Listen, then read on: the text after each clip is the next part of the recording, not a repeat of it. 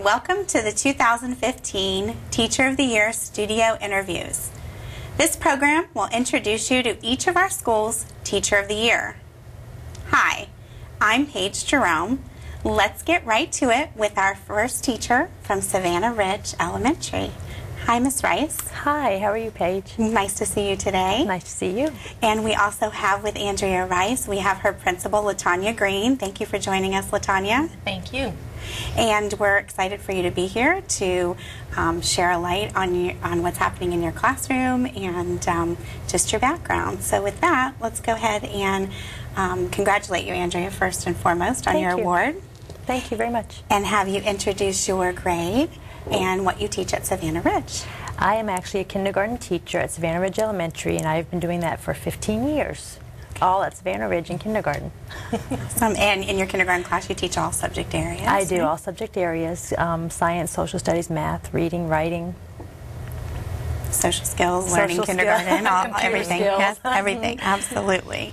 And where did you attend school um, for college, and what was your program of study? I went to um, Florida Atlantic University, and I actually had a degree in elementary education, and then later on got my certification in early childhood education. Okay, terrific.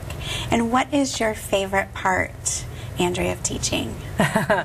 um, the funny stories.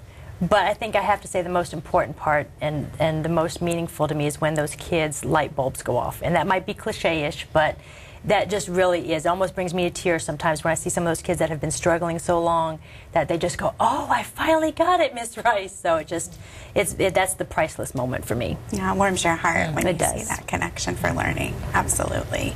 And there's so many different stages in a kindergarten classroom because Absolutely. they come um, just so new to everything when they walk into the kindergarten room. So I know that you see a lot of a lot of those lot light bulbs throughout the year. Absolutely.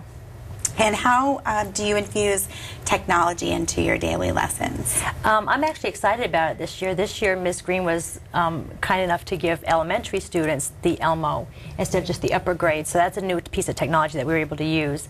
Um, I use that for reading books aloud. I use it for demonstrating writing strategies. Um, I have my students even come up and demonstrate some math skills that we're working on.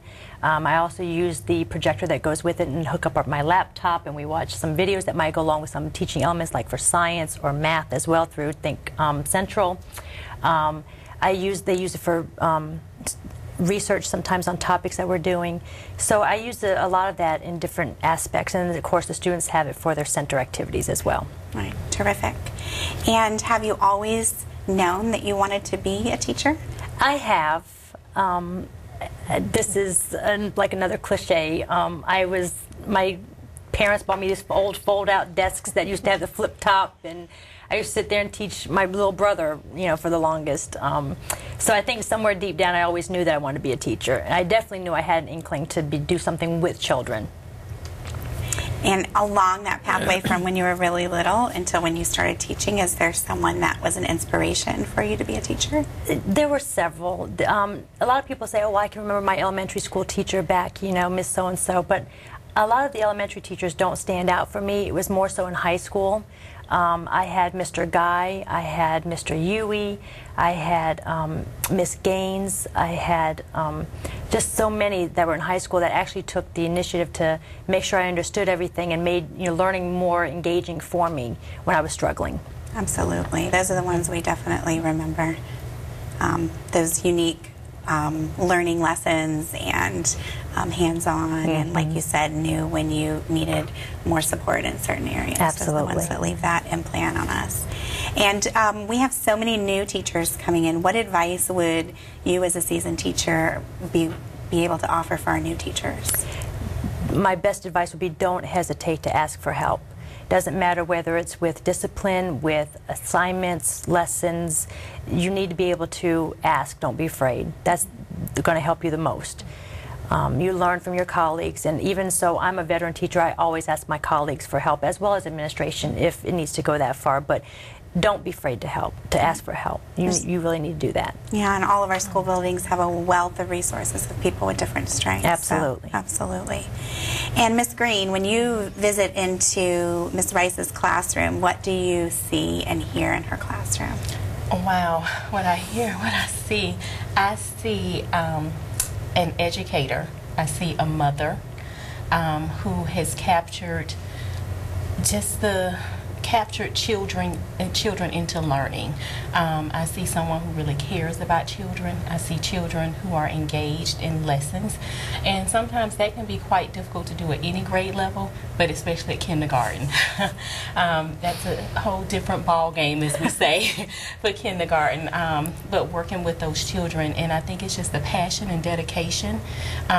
And just her time and energy that she puts into ensuring that those children um, are, like I said, engaged in lessons, um, that they are learning, um, just building that community within her classroom for, with a very safe learning environment.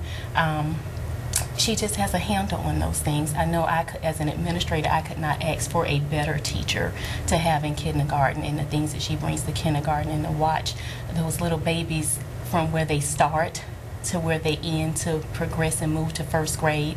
Um, I'm truly blessed and truly honored to have someone such as Miss Rice to be Thank a you. part of the Savanna Ridge family. Absolutely.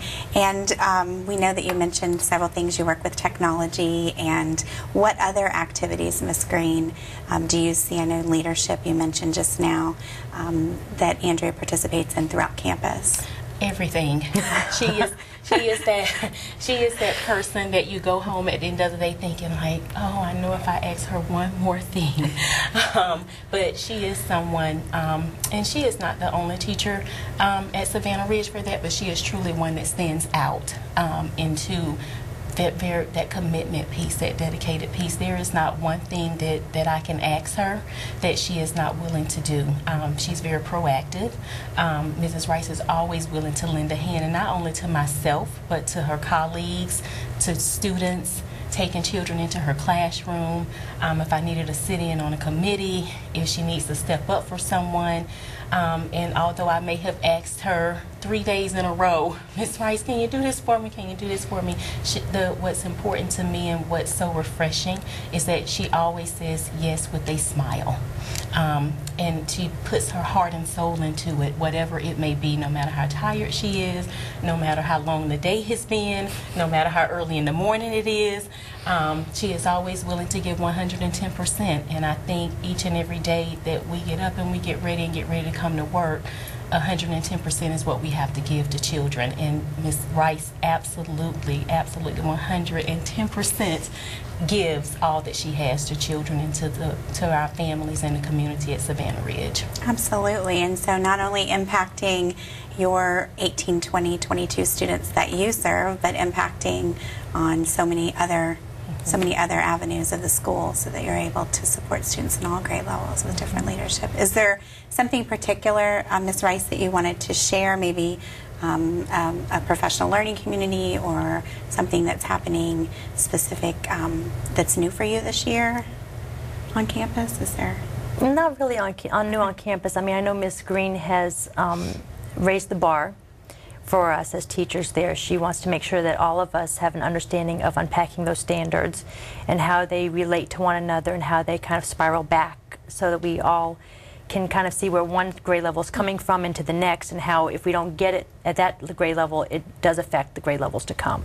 So um, that's probably the newest aspect. And that's really so vital so that you can see that whole vertical continuum of how everything each grade level does affects that next transition into the new grade level. Absolutely. Absolutely. And Ms. Green, is there anything before we close the interview that you would like to share that we didn't mention already? And you know what? I can tell you something about Miss Rice, and um, she is a risk taker. She's a risk taker. She is. Um, she has a knack for kindergarten, but she is not afraid to step out of kindergarten and help on all accords, all fronts. Because one thing that I do know about her that's evident, that actually just radiates throughout that building, whether or in the community, um, at certain events. Um, in her heart, it's children. It's about children. Um, and at the end of the day, it's why we do what we do. Um, and she is a true leader. Um, we are not only honored at Savanna Ridge that she is our Teacher of the Year, but this district would be honored and very proud to have her serve as Teacher of the Year for our district.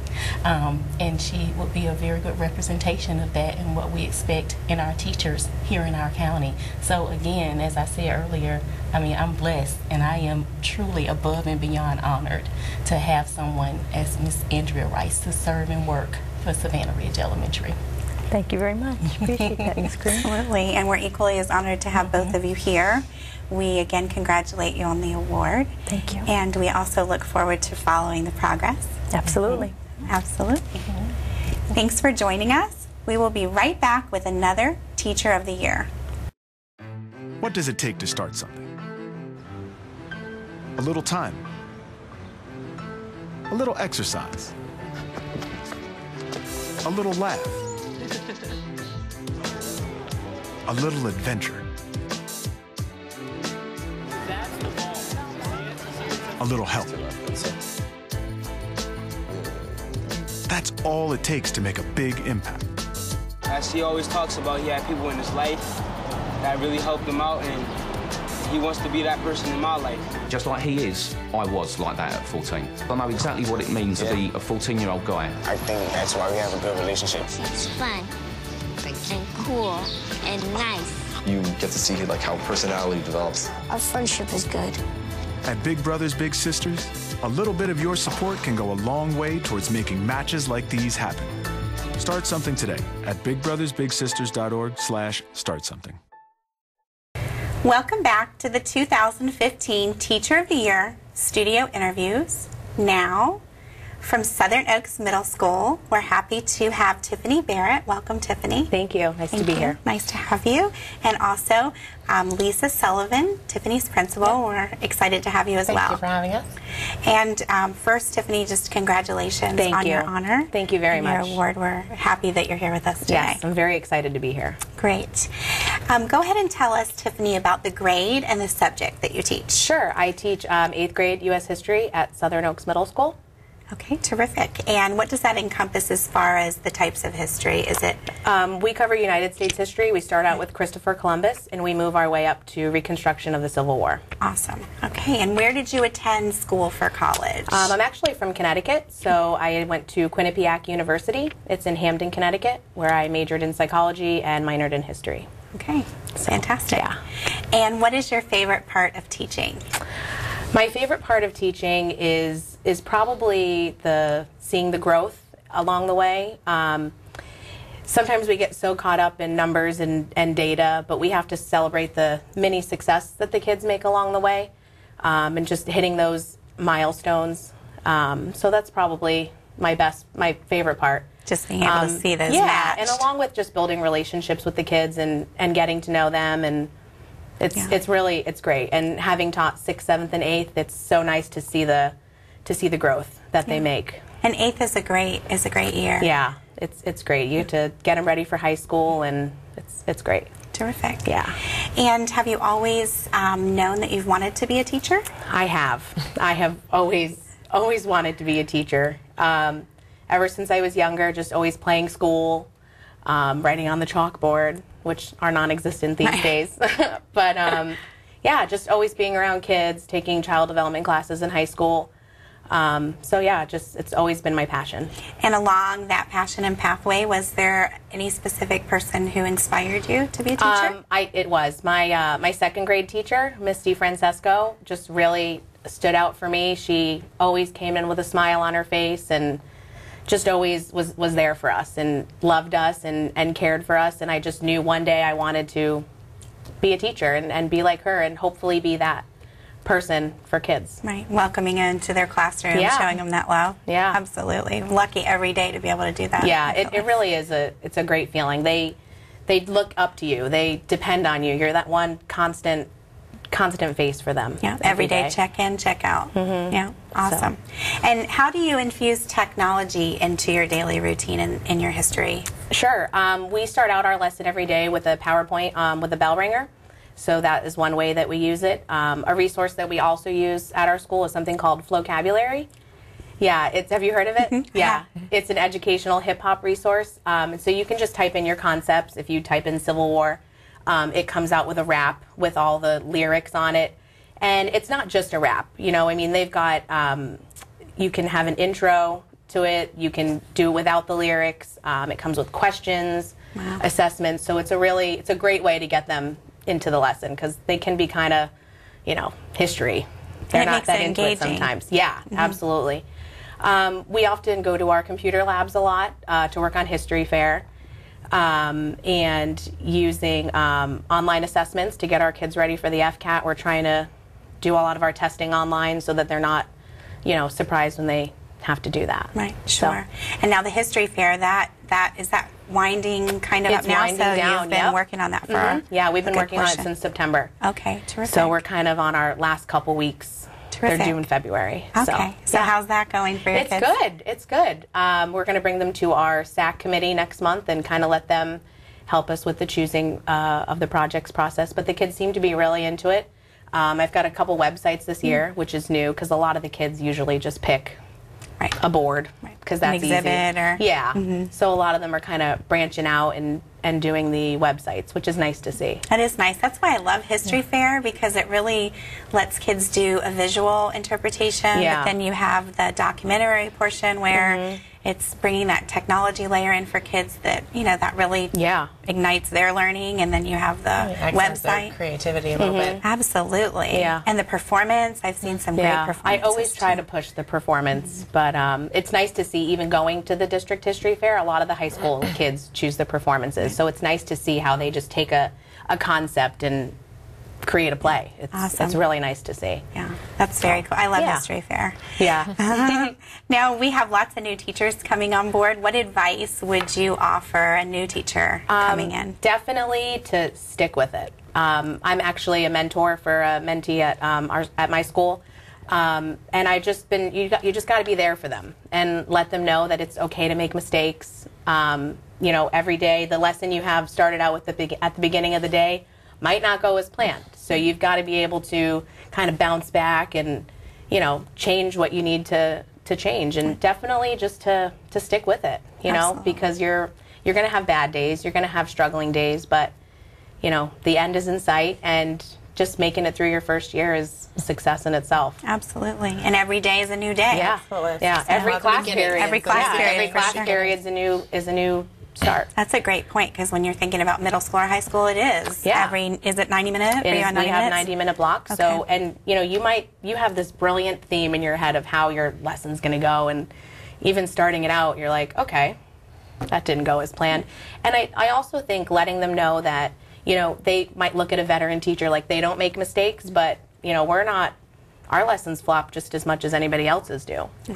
So just And I to let them know that we're all the same. Right. And I think that, like you had said too, um, mentoring um, is so important. Yeah. And so the mentors, they're all letting them know that as well. Yeah. So they see that they're they're having the same challenges and is having to be quick on their feet Yeah. to recap or change things as you go. Absolutely. Yeah. Now, Miss Sullivan, when you visit in Tiffany's room, what types of things do you see and hear in her classroom? I love going into Tiffany's classroom. I love the energy that's in that classroom. I love that I never know what I'm going to be walking into, whether it's centers, whether the kids are sitting on the floor. It's always something different going on. What I love most about Miss Barrett's classroom, though, is I think it's um, a credit to her that kids come to us with all sorts of things, all sorts of baggage, all sorts of positives, all sorts of negatives. Miss Barrett can find the positive in any child I give her. And it's just so rewarding to go in there and see that child that's struggling someplace else be so successful in Miss Barrett's room. It's very reaffirming to, to visit Miss Barrett's room, and I, I, I love going there. And that is a true mm-hmm. gift. It is a gift, to be absolutely. able Mhm. to to look at every circumstance, and every circumstance will have Right. a positive mm-hmm. shine mm-hmm. or a star. And it might be hard to find, but she finds it. And send us their that's best. a great- yeah, they send the best. Absolutely. the good ones at home. And Absolutely. Yeah. yeah, so. And also, when um, you think about Miss Barrett's classroom and um, other activities she's involved in on campus, I'm sure the list is a lot of different things. endless, but yes. what kinds of things would you like to highlight that she's involved Um, in? Miss Barrett does everything for me. She um, took over our, our, we recently came to Title One school. She runs my after school program. She runs the history fair. She's the department chair. Um, whenever I have these crazy ideas in the middle of the night, I call Tiffany. I'm like, "What do you think about this?" and um, we make it happen. And she just makes it happen. Uh, sometimes people are like, "You're always asked Miss Fair," and I'm like, "I know because she just gets me through this craziness that I think is going to be successful." Like we have a literacy walk coming up this Friday. We did celebrations around the world. It's just so many things that we highlight positive experiences for kids, and she's always been a partner there for me for that. And I think I, the list is endless of things. It's the strong curriculum pieces, our district liaison for social studies, a DPQ leader. Um, but that other piece that she does for kids as well. When I say we're making home visits, Tiffany's right there in the car with me, putting kids and teachers in those cars and getting there. It's just, she's always like, "What do you got? What can I do?" Great. Um, she's a, a huge asset to Southern Oak. She's a cornerstone for us there. Absolutely. And I can feel that passion and Yeah. that same energy that you talk Yeah. about just Oh, across the absolutely. table. It's apparent. So. Thank you. And would there be anything else um, that you'd like to share, Tiffany, about your classroom or about things that are happening that you wanted to share? Um. I'm, I'm just so excited to be honored to, to represent my school and just to be chosen by my peers. Um, I never thought I'd be sitting here, but I, I've grown so much in these past seven years just moving to Florida, and every year is, is a new year. You know, every year I'm changing, my lessons are changing. Um, so it's just, you know, and a new bunch of kids. So it's, it's exciting, and I'm just very excited and, and honored to be here. It is exciting, Southern Oaks, the fact that you get to have an impact of 100 Yeah. students, too, probably by the time you look at all of Mhm. your blocks. Yeah, and, and That's seeing powerful. kids that have moved on to high school and just seeing them outside of school and you know how excited they get when they see me and how excited I get when I see them just really affirms that I'm doing the right thing. Really excellent. So, Well, it's been a pleasure to have you. both of Thank you here you. today. Thank you for Thank you having very us. much. And we're, We're very to be here. excited. Yes. Um, congratulations again. and we look forward to watching the progress. Thank you. Yeah. Thank you. Thanks for joining us. We will be right back with another Teacher of the Year.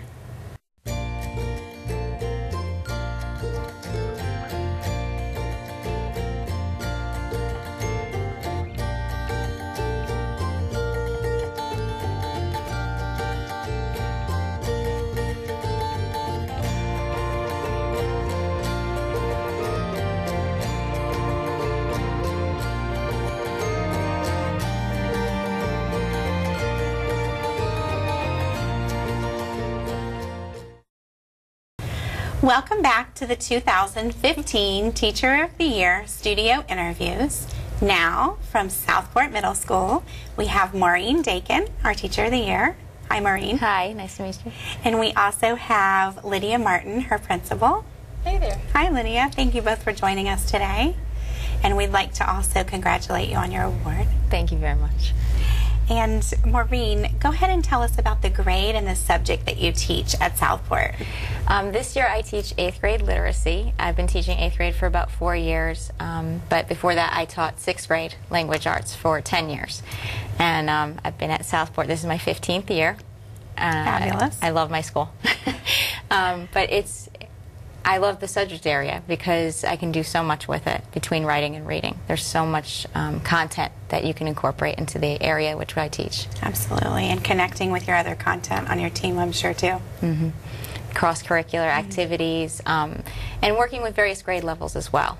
Great. Getting ideas and playing things off of each other. And, you know, I, with teaching from sixth to eighth, there's such a good range of material that we can use for each grade. A lot of resources then. Terrific. We're going to talk about some of those, or I'll highlight those in a minute. And where did you attend school for college? I actually went to Eastern Connecticut State University. It's a um, sister school for UConn. And then when I moved to Florida, um, I attached on my education degree at FAU. Okay. And what was your first program of study? English literature. English literature. Okay. Yes. Terrific. And thinking about those resources that we were talking about, the wide spectrum of things available, when you think about technology, what types of, um, how do you infuse technology into your literacy routine? I use um, our CAV system every day. Um, I like to use the CAV a lot. You know, I was never a big fan of chalkboard when we have it, and um, the whiteboards I use occasionally. I can see how it's better for math with the whiteboards, but I like the kids to see because it's more visual, um, and I can do a lot of activities with that where I can use PowerPoints or I can have the students incorporate making their own PowerPoints. I also use web quests. I make a lot of um, literary web quests where they can go in and they create their um, they can create their own timetable, so to speak. You know, I'll give them my timetable when I approximately would like everything due, but they can work at their own pace, and it helps with students who are at varying um, learning levels. And if they feel overwhelmed, they can ask me about it, but they can access these web quests from home or any computer in the school, so it makes it a lot easier on the students. That's terrific, and you can really differentiate then with your Yes. different leveled students. like and I can also like I usually I will attach emails to parents through Skyward so that I can put hyperlinks in there so the parents can click on the web quest and they can see what their students are doing as well. Awesome. That's great. And have you always known? Um, well, you said your first your first program at Connecticut, and then you went into education. So, um, when did you decide that you were more interested on the education path? I always knew I wanted to work with um, children in some capacity. I came from a family of teachers. My mom's um, a teacher at Floresta Elementary, Okay. and my aunt, uncle, grandfather, they were all teachers in Connecticut. Um, so I come from that environment, and I think part of me, you know, I was set on that path and was told to be on that path, and kind of just went, well, I'm not going to go on that path then. But I always wanted to work with kids in some way, and I originally wanted to go into some kind of um, sociology or psychology major and work with guidance.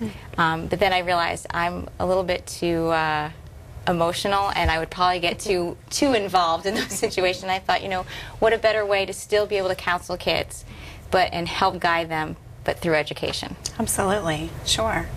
And yeah, I heard you say you have multiple family members, so um, I'm sure they were your key inspiration. Were there other people that were inspiring you also in education, or pretty much? Actually, I, some college roommates as well. When I was, we were finished with our first years of college, and um, some of my friends that went back because in Connecticut a master's degree is required, and some of my friends that were going back and working on their masters, they said to me, you know, you really would be a good teacher. It really would be something I could see you working with children. And I thought about it and I thought, you know what, let me let me see how this is and I took some education courses and I realized I really liked it. I really liked the idea of working with kids. And at that time, my mom had already um, moved to Florida and started teaching down here. She originally taught at Port St. Lucie Elementary. And so I went in there, and um, Mr. Hill used to let me come in to the first grade class, and I would work with the kids. And it kind of helped me decide, to what grade level I would be good at teaching, where I would make the most connection. Great, great. And and did you um, spend some time in some middle grade classrooms too? Is that how? Yes. Okay. I um, when I was at FAU and I had to do my um, interdisciplinary teaching as well, I went to Dan McCarty, and actually at that time, uh, the teacher I was with. I don't know if she teaches anymore because I haven't. I've lost contact with her. Um, her name was Sally Williams, and she was actually a teacher for Southern Oaks because Southern Oaks was still being built at the time, and it was probably 1997 or so, and I realized that that was the age Great. when I did my student teaching in there. That that was just. I knew at that time that's where I wanted to be. Terrific. And you said you've been 15 years now. Is that correct? Yes. Okay. Fantastic. And we have lots of new teachers coming into our system. What advice would you share with a new teacher? I would be open minded. You know, uh, you learn a lot of stuff in school um, and curricula and content for your subject area, but there's always room to learn. And those first about three years, they shouldn't give up because there's always help out there from other teachers. But it's, it's you're still learning. It's a lot of learning the first three years. If you can make it through those first couple of years, just like a business, you should be able to make it. Sure. Don't sure. don't let things get you down right away. And it seems like every year too, even when we're in our 15th or 16th year, there's still lots There's- of I'm learning. still learning now. Mhm. so we're still working with a mentor or a colleague that we can collaborate with. So absolutely, great advice. and Miss Martin, when you visit in um, Maureen's classroom, what do you see? What do you hear happening? I always look forward to going into Maureen's classroom because I know that I'm going to see high level thinking. Um, she has a real natural um, demeanor with the with the class, and um, she and that was something new I learned about her as far as her her wanting to be a you know, guidance counselor. I can definitely see that. She really builds um, great relationships with the kids, and it's it's a, an environment of mutual respect. Um, and because she has that relationship with the kids, she really is able to kind of demand a lot from the students. And um, she does a great job of kind of meeting them at their level that they're at. Um, you know, all of the classes have mixed ability students in them, and um, she's able to really break down that those materials. Um, she had mentioned earlier about teaching literacy, and where possible at Southport this year, we've been able to combi- combine language arts and reading into basically a double block taught by the same teacher. And um, this is something new that we've been doing this year, and um, Maureen has really kind of taken that by the reins, and um, she leads a, um, a the grade level teachers in her um, department um, as a collaborative facilitator.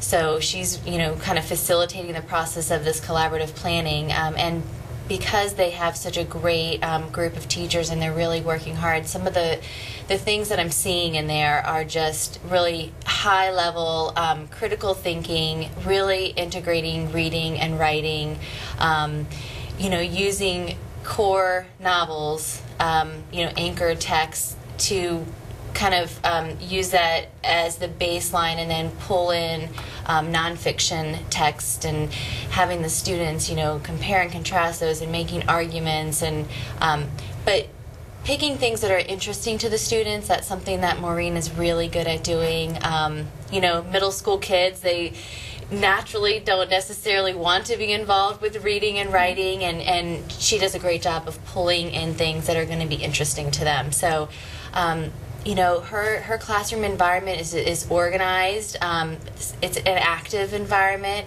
where the kids are actively learning and discussing things with one another, and um, you know there's a, there's a lot of positive things that I see in her room. Sounds fabulous, absolutely. and with the integration this year into the new literacy, the block that you were um, talking about, is there anything you wanted to highlight that you like that's new? As part of that integration of that class? I, I actually really enjoy the block. Um, some people thought it would be difficult, but I always found that I was rushing. You know, I've done six periods before when I first started at Southport, and we had seven periods. Um, it, it can be a little taxing on planning, but really when it comes down to it, it's a better environment for the kids. And if the kids want to discuss something, it really makes you be able to allow that time for the kids to express themselves. And I think that's really important Absolutely. for them to stay engaged in the conversation, be a part of something, and own what they're learning. Absolutely. So I think I think the block has done it well. It's still a learning experience for us on how to guide the curriculum and which direction we're going, but with this year being a blended year, anyways, it's I'm sure it's difficult everywhere where everybody's trying to get grasp what's going on. Absolutely. Yeah, and like you said, that discussion time, um, just having that extra time for kids to become more involved, that does help them own their learning, to help them work and collaborate with other people and transfer that into practice. So that's terrific. Um, what other activities, Ms. Martin, do you see? I know we mentioned um, her leadership level for her department. Um, what other types of things do you see Maureen involved in on the campus at Southport? Um, she's involved in all of our, um, you know, parent nights. Um, we hold an annual literacy night where we provide activities for parents to do with their students. she's involved with that. you know, she it, she's been at the school, like she said, 15 years, and, and she really has established herself kind of as a leader. Um, but she also is willing to learn from other people. And so she kind of models, you know, what a professional educator is. And um, she does that by leading her group, but also taking feedback and input from others. And, um, you know, she's just a real asset to, to have for new teachers coming in and veteran teachers. Absolutely, being willing, like you said, you're you're having those risks the kids can take in the classroom, and then you also do that so that people can feel comfortable and and have help from their peers. So it's definitely an asset. Absolutely.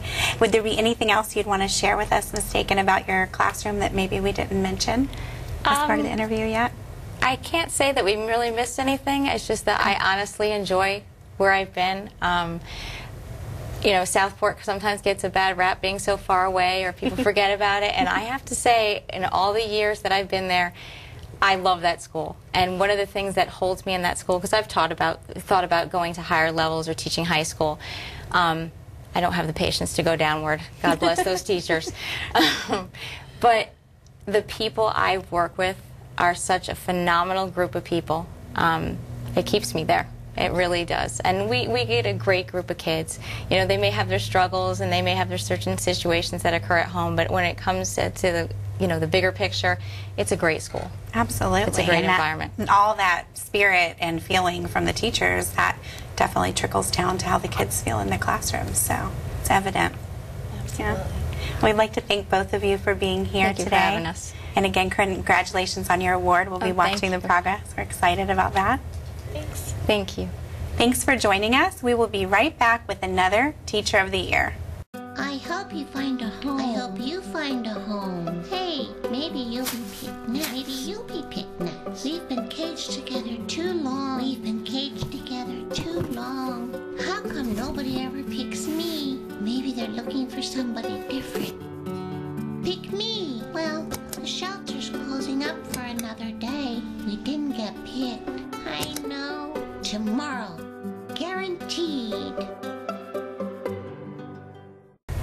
Welcome back to the 2015 Teacher of the Year studio interviews. Now, from St. Lucie Elementary, we're happy to have Angela Earhart. Hi. Hi, welcome, Angela. Thank you.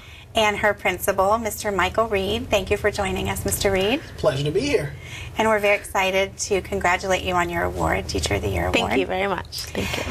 Um, Angela, go ahead and tell us the um, the position that you hold and the levels of students that you work with at St. Lucie Elementary. I'm the math coach at St. Lucie Elementary, and I work with grades K through 5. K through 5, excellent. And where did you attend school? UCF. Okay. And at UCF, what was your program of study? Elementary education. It was elementary. Yes, it was. Okay, fantastic.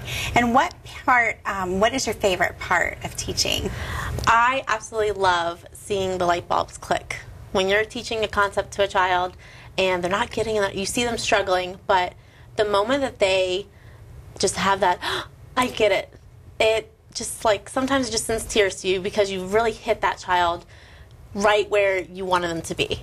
And just constantly building those relationships with the children and seeing that they have the potential to excel. And, and it's every child every day. And I just, that is the most amazing part of teaching, is just seeing that connection that they make to the concepts that you're trying to instill within them. Absolutely. And now this is your second year as math coach? Yes. Right? And so what level did you teach prior to that position? Fourth grade. Fourth grade, Yes. okay. So it's, it's neat too in your role that um, you're able to see those sparks go off in lots of different classrooms Oh, now. absolutely. Um, so instead of just 25 or 24 kids, um, you're now probably seeing it on a, on a greater scale. Absolutely. And being in my second year, I see the light bulbs go off not only last year, but I see the, the connections the kids are making to this year too. And when they go, oh, I remember that learning that last year, it's like, yes, you do. You know, we were working with it. So it is. It's it's great seeing the connections and the light bulbs and, and, and throughout the grade levels and throughout the years too. Fabulous. Yeah. Great. And also impacting being able to um, be a model for not only children, but also work and collaborate with peers. That's a Absolutely. fabulous Yes. aspect of the role. Great. And what about um, for technology? How do you infuse technology into your math coach uh, or math, um, is it math instructional specialist? Yes. Okay, um, into that role. Well, working with technology can be challenging, especially if your resources don't always aren't always there for you. But we do do a very good job at connecting the lessons to online websites that will contribute to that, um, PowerPoint presentations with the students, and seeing the students interact with the technology as well. Especially since we're going into this testing, um, computer testing era that we're going into. Um, we, we try really hard to incorporate that within our lessons when the when the resources are there for us to do that with our students. Sure. That's terrific. And have you always known that you wanted to be a teacher? Yes, I have. It actually started in kindergarten. I was always the teacher's helper in kindergarten, and in first grade, what I would do is I would come home with my whatever little homework I had in first grade, and I would do it all by myself. And then I would teach all my stuffed animals in my classroom, my homework. And I knew I wanted to be a teacher so bad that I even asked my mom for a student desk, and I earned it. She she bought like one of those old style student desks. The the lid comes up and everything, and um, I had one of those and a little whiteboard in my in my I almost said my classroom in my actual bedroom, and I would always do my homework and then teach my homework to my stuffed animals and that's just it's always been in me to be Very a teacher. neat. Always, yeah. Terrific. And I can see that light. It's like a sparkle. It is. When I, you talk about it's it. It's my passion, definitely. That's fantastic. And along that path, since you've known since you were so little, was there someone specific that inspired you to be a teacher? Um, I would think not one person in particular, but I do know that with all my teachers throughout elementary, middle, and high school, and my family, no one ever said no. They were always there to support me in whatever I wanted to become. Because when you're a little kid, you can do anything you want to do, you know? And when I was in high school, I was told you can do anything you want to do. You can go any branch. You want to be a teacher? And I just, yes, I want to be a teacher. And no one ever said no. They always were supportive and said, that's what you want to do, then go do it. And um, so I just thank all my teachers and and my parents and, and my family members and my friends just because they were always there to, to say, okay, you know what, my, while, while my other friends were going to be doctors and lawyers, it was, Angela wants to be a teacher and that's what she's going to do. And it was never, it was great. Everybody supported me. They believed in your choice. Yes. They believed in your path. That's Mhm. awesome. Yeah. Very cool. And what advice would you give to a new teacher? My advice to a new teacher would be to go in to the classrooms before you actually get to be the teacher. Go in and observe the different elements of the classrooms and have down your classroom management plan. So, yeah, classroom Yeah. management is a biggie for Yes. sure. Yes. And do you find yourself being able to, in your role, um, help a lot, a lot with that? I'm sure. Yes. As far as Yes, with the math coach position I'm in, there's different hats that I wear throughout the day and throughout the year. You know, sometimes one teacher might need more coaching in some areas than just the mathematics component, and I'm there to support them in any of the areas of their pedagogy or anything they need help in and support in with their teaching practices. Right, which is a huge asset to that elementary ed background, being a math coach, because not only can you help with the content, but you can help with any aspect, like you Right. said, of the room. So that's Yeah. that's that's terrific. Now, Mr. Reed, when you visit in Angela's classroom, um, what types of things do you see and hear on your visitations? That's interesting because um, I don't get an opportunity to see her in a classroom. I see her in several classrooms because she does uh, modeling for us in various grade levels. So whether it's in a third grade class or a fifth grade class or a fourth grade class, uh, it's interesting to see how well she connects with with the, with the students. Um, regardless of the classroom and the grade level, she has the ability to connect with the students. She has the ability to um, ask the questions at their level and able to get them to stretch themselves and think and to work together um, as a group. Um, and that's quite difficult just coming into a situation. And sometimes she comes into the situations cold. We've often we've often asked her to, to go in and to help and to support to model for some of our newer teachers. And uh, when that happens, she kind of uh, she plays a large role in helping teachers collaboratively plan. So she has the knowledge of what's going to go on, and she has an idea of what's going to go on. But each classroom dynamic is different and uh, but she has the ability just to step in, make a connection with the students, and, and get them through the lesson and, and get them to learn at high levels. And that is a gift. That is hard to be able, just like you said, to walk into a cold situation and different dynamics, all different planning as far as routines and rituals. So that's definitely an asset, a great gift.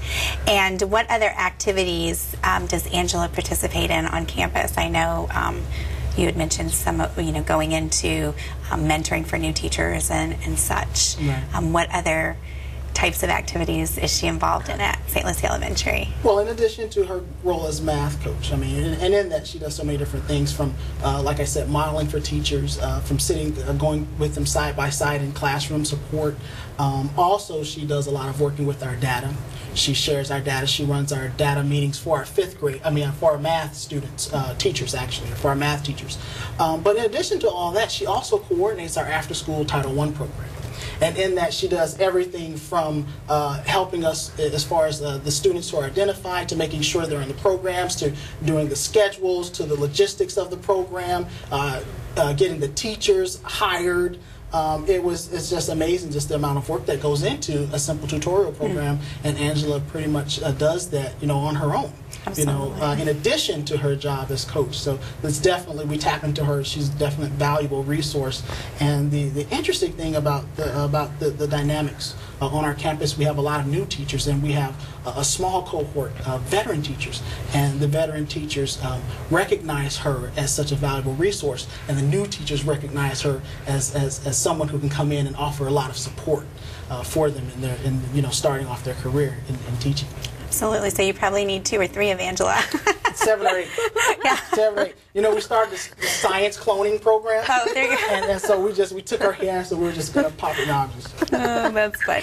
Yeah, that's outstanding. Outstanding testimonial to your talent, Angela. Thank you. And would there would there be any other highlight um, about um, aha moments or just any part of how you spend your day that you'd want to share with us before we close for today? Well, I mentioned before when the students see the light bulb go off, and when we see the light bulb go off in the students, and how it's just it touches you at that just it can bring tears to your eyes sometimes. But um, this year, even um, working with working with teachers, seeing the aha and light bulb go off in teachers, and seeing them excited to go and teach that new content too, um, it just reminded me of a of, of something that happened this year where the teacher she came to me and she was like, "Can you explain this to me?" And I did, and then it was like. Oh, I can't wait to go teach this tomorrow. And then seeing the teachers in the hallway the next day and her saying, It was so great. I'm so glad that you were able to teach that to me. And so, not only seeing the light bulb in the students, but being in the coach role now, seeing the light bulb in the teachers. And then they share that enthusiasm with their students. And then coming back to you and saying,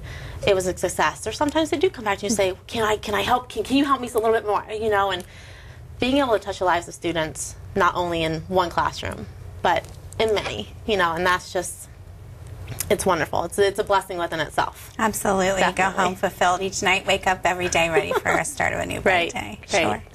Well, that's Yeah. awesome. Well, it's been wonderful being able to um, have a light into the many classrooms that you touch, not just one classroom. So that's pretty exciting. Yes. And we uh, again congratulate you on your Teacher of the Year award. Thank you very much. We Thank look you. forward to following the progress. Yes, thank you. Thank Yeah. you very much. Thank you for joining us. We will be right back with another Teacher of the Year.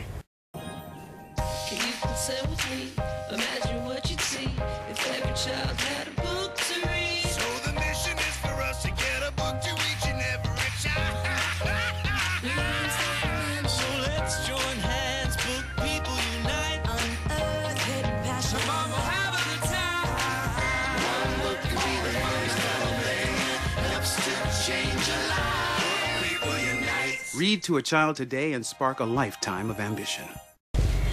Welcome back to the 2015 Teacher of the Year studio interviews. Now, from St. Lucie West K 8 School, we're happy to have Michelle Fryer Dommel. Thank you, Michelle, for joining us. Thank you. And we're also happy to have Susan Seal, her principal. Nice to see you as well, Susan. Thank you. I'm happy to be here. And uh, first and foremost, we just want to congratulate you on your award, Michelle. Oh, thank you very much. I'm Teacher of the Year for St. Lucie West K 8. Thank you. Let's have you um, start by telling us the grade and the subjects that you teach at St. Lucie West K 8. I teach fourth grade gifted students. Um, so I teach reading, math, science, um, social studies, and the all important writing for fourth grade. Awesome. And where did you attend school for college? Well, um, actually went to a few colleges. I'm sort of a, a school nut. So I got my initial bachelor degrees from State University of Binghamton in New York. And I got a history degree there and a music degree and came out thinking I was going to be a music teacher. Didn't work out and ended up in the computer field for a whole bunch of years and then decided to go back to school and get my history certificate. And so I went to DeSales University to get that and taught in Pennsylvania for a few years before coming down here. Great, terrific.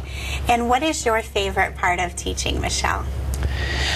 Um, I would have to say my favorite part of teaching has to be when you see that kid make the connection. You can see like the light bulbs popping over their heads, and you just know that they have gotten something that they're going to remember. Um, I teach gifted students, so I teach a little bit differently than maybe a mainstream classroom. We do a lot of project based learning, and we do a lot of inquiry kind of instruction. And so when they figure it out, you know, they're so proud of themselves, and it's just fun to watch them really make those connections, no matter what the subject is. Absolutely. It's why we're there every day. right? Yeah, exactly. Phenomenal. Yeah. And then, how do you, um, into your inquiry and your project based um, learning, how do you integrate your technology into your routine for your gifted students? Well, technology is more on the student end. I encourage them to do any projects. Um, the, the goal of project based learning is for the students to design their own projects. So I give them you know, an outline or a concept that I want them to master the learning, but then they plan the project, they decide what their outcome is, and they use whatever technology they feel appropriate to either do the research, put it together, or display the product in class. So, about um, two months ago, we had a professional development in school where we learned how to use Prezi. And I got so excited about that. And I did my very first Prezi that day and showed my kids the next day. And that was a huge spark. And all the kids are now like, oh, I want to do a Prezi. I want to do a Prezi. So they're very into doing products that really showcase technology. Um, so we've had kids come in using handheld devices um, to do research on things that they've saved, and they're able to put that into whatever product that they're making. Great. And so not only are you modeling when you teach in your technology, but all of those sharing of projects are Yes. like you have a volume of other models of things Absolutely. happening for Yep. kids to share. Mhm. That's terrific. Yeah. And when you think about um, your path as a teacher, um, have you always wanted to, did you always feel like you wanted to be um, in, in teaching? I know you said you were in technology, so it is probably at that time when you discovered, I guess. Tell us about that. Well, it's kind of interesting because my mom will laugh about this, but I grew up wanting to be a brain surgeon. Okay. so, you know, that was my goal to be a brain surgeon. I didn't know the term was neurosurgeon at the time, but when I got older, I actually went to school for pre med and then fell into music, loved it. Um, and I liked history too, so I just ended up majoring in that. And when I came out of school, I mentioned I couldn't get a job as a teacher in during teaching music. So I sort of fell into computers and landed there for a few years. But all the time I was thinking about teaching, thinking about hmm. teaching. And when my daughter was born, my husband said, "This is the time. You need to do this. You need to go back to school and get your certificate." And so I did. And best decision I ever made. Absolutely. And when you think about um, in your classroom role, you're able to infuse music as well Mm-hmm. in probably a lot of outlets as you study and kids are involved in projects. You're able to do that in elementary as well. I sing at them and they think that's kind of funny. but we, you know, especially like for social studies, we might have you know, like folk songs, or if I know songs, we just did a, a, a whole book study about the Great Chicago Fire. And so I started singing to them about, you know, Mrs. O'Leary and her cow, and so we learned that song. it's just kind of fun. A lot of historical reference it with music too. Yeah, it's fun. Sure. And is there someone along that way who inspired you to become a teacher, or do you have an inspirational teacher that? Yes, actually, I have two, um, both of which were high school teachers. Um, my music teacher was Mrs. Basil. Um, she was phenomenal, infused in several of us the love for teaching and the love for music. In my graduating class, out of the, the group of us that were together in the music um, both in choirs and stage shows and all that kind of stuff. There's about six of us that are teachers. So I am sure that she had a great deal to do with inspiring us. The other person was Mr. Doris, who was my high school physics teacher. And he was big and scary, and I thought he hated me. And then he started laughing at my jokes, and I discovered a love for science that I had no idea that I had. So, the two of them, I would say, definitely inspired me Great. to Two be a great teacher. stories. Yeah. And what advice, with um, so many new teachers in our field today, what advice would you offer to a new teacher, or a new group of teachers? Um, I think the best advice that I can give a new teacher is probably ask for help. Make sure that you, you know, understand what uh, veteran teachers can offer you. Um, so many new teachers I see try to just muddle through and reinventing the wheel when they really don't have to. There's so many of us that have been around for so many years that um, have so many great tools in the toolbox, and it would be really beneficial for them to just you know brainstorm with all of these teachers on a team or in a group and really pull out those ideas that they think might work for them, try them out, modify them, and see what works and what doesn't work for them. And people are always willing to help Absolutely. and collaborate. That's what makes us all real strong. so, Yeah. Mhm. Sure. And um, Miss Seal, when you go into Michelle's room, what do you see and what do you hear in her classroom? You hear the joy of seeing students and hearing them as they're learning. Um, Mrs. Fryer Dommel has the innate ability to capture the essence of what children are interested in and build on that. So it's a very exciting place to visit our classroom because not all the same kids are doing the same thing at the same time. They are learning in different ways at different rates of time, and it's always an engaging classroom to visit. It's always one of my favorites. Terrific, and I can tell all the things and stories that she was sharing with us and all the ways that they're able to build on their own strengths and then be able to have a product focus that's reflective of mm-hmm. their learning style or how they would like to be able to celebrate that. That's terrific. And then when you think about other activities um, for Mrs. Fryer Dommel, what other activities um, do you see that she participates in around campus? She's extremely active. She chairs the BLPT. She's an active member of PTO. She's an active member of SAC. Um, I have to encourage her not to become involved in things because it, she tends to be involved in everything.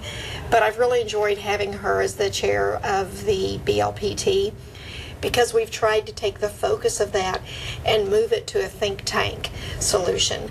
We have some great minds that come to that meeting, and we've really found it, and begin to find ways that we can take some of the true problems that we're wrestling with as a school and take them through some protocols and find out what's going to work best. Take it back to the peers, try it out, find out if that's a viable solution, and then return to follow up the next month. So I have to say I enjoy that most of all, and that's where I really see her shine because she truly is an out of the box thinker. A lot of times we'll end meetings, whether it's SAC, whether it's PTO, and she'll come back the next day and say, you know what? I was thinking about this afterwards, and I thought that maybe we might want to. So I really enjoy that because as a principal, it's really great to have team members that can think outside of the box and help you solve problems. We know we face so many daunting problems on a daily basis. We can't do it alone. It takes a team. And, and even sitting on some of those things overnight and coming back the next day. It's kind of like coming back with solutions and, you know, really being able to problem solve together. It's terrific. And what about um, your experience on some of those um, teams that Mrs. Seal mentioned? Do you have a highlight that you'd like to share about being a part of? Well, I think that the, the BLPT is something that I am proud of. Um, we have worked really hard on changing um, how it works and really not so much the structure of it, but what the focus is. And I really enjoy having other teachers coming in with ideas, and we really need to work on how we can improve, you know, how we do X, Y, and Z, and being able to come up with an idea together to do that. And it's a platform that has a little bit different shift than the traditional BLPT, I think, in many of the other schools. Mm-hmm. And I think that Susan and I have worked really well together in really changing the way the BLPT works and what we can do with it. And I'm sure the examples that you've shared really do lay that foundation of building quite a different type of culture mm-hmm. among a faculty when it is organized in that in that fashion. So you see that strength Yeah, come definitely. Just to piggyback on that a little bit, um, the BLPT was designed to focus on curriculum and instruction, and we've done that in several different ways. And we heard voices of teachers talking about some frustrations through our, about RTI, so we brought that to the table. What resources do we have? Where do the, what are the areas that we see we need to focus on? We were able to also have a survey that we gave to the teachers, and then come back with some of that information. So that's just one example. There's another thing that we're looking at now in our curriculum. We currently use reading counts. And at this point in time, we have a one size fits all policy, and we're kind of seeing that maybe that doesn't meet students' needs best. So that's something we're bringing to the table again to talk about what's working really well in that program, and then what are the parts that aren't, and how can we tweak it. We want to make sure we don't throw the baby out with the bathwater, but look constantly to improve what we're doing. Exactly. Absolutely. So, as we are giving some advice to new teachers, it's for us too. We're always growing. Mhm. You know, we're always learning to collaborate more. Yeah. And I'm sure the buy-in um, of a faculty when you're doing that approach is is far really high. I would just imagine. Um, I sent out a survey right before Christmas break, and there actually was a person who responded that way that they were really pleased with seeing the change just from reading the BLPT notes and noticing how much was going on, and they were really excited next year to join in on some of the committees we have in place. So that again is a testament to how hard we've worked and tried to focus that. Right, a big affirmation. Yes. Yeah, for the change. Very good. Excellent. Is there anything else you'd like to share with us um, just about your day or your routine or your Teacher of the Year honor before we close our session for today? I just do want to say that it's a tremendous honor and privilege to be chosen as Teacher of the Year. Um, I was surprised and flattered that people would think of me as somebody that could be a model teacher. And that means a lot to me that my peers, you know, thought of me in that way. So it's a, it's a very important honor to me that my peers chose me for this. and, a, and an asset that um, I know Mrs. Seal and everyone would concur that St. Lucie Westgate also has you to be able to share that learning experience with them. So. Thank you. Absolutely. And we're thrilled to have you both here today. We look forward to the progress of Teacher of the Year and following that. Thank you so much. Thank you. Thanks for joining us. We will be right back with another Teacher of the Year. I understand you need a little help with your mortgage. Want to avoid foreclosure. Candy? Um, well, you know, you're in luck. We're uh, experts in this sort of thing mortgage, rigmarole, whatnot. Why don't we get a contract? Who wants a contract? Here you go, Pete. Thanks, Betty. Write a toner. If you're facing foreclosure, talk to the right people. Speak with HUD approved housing counselors free of charge at 888 995 HOPE. Welcome back to the 2015 Teacher of the Year studio interviews. Now, from Palm Point Educational Research School, we have Jade Allison Joy. Welcome, Jade. Thank you. And we also have Jade's principal, Deborah Snyder. Welcome, Debbie. Hi. We're excited to have you both here, and we'd like to congratulate you on your award of Teacher of the Thank Year. Thank you so much. And thank you for joining us. And at that, we'll have you tell us about the grade level that you Sure. teach at Palm Point. I teach fifth grade at Palm Point. Okay. I've been there since we opened our doors in 2008. I've done fifth grade most of the time and one year in fourth grade. Okay, fabulous. And tell us about your school for college, where you went to school, and what was your program of study? Sure. I actually did my undergrad in business at Hofstra University in New York, and then I went back for my master's uh, to be a teacher in childhood education at Long Island University. Okay, fabulous. And what is your favorite part of teaching? Getting to see my kids every day.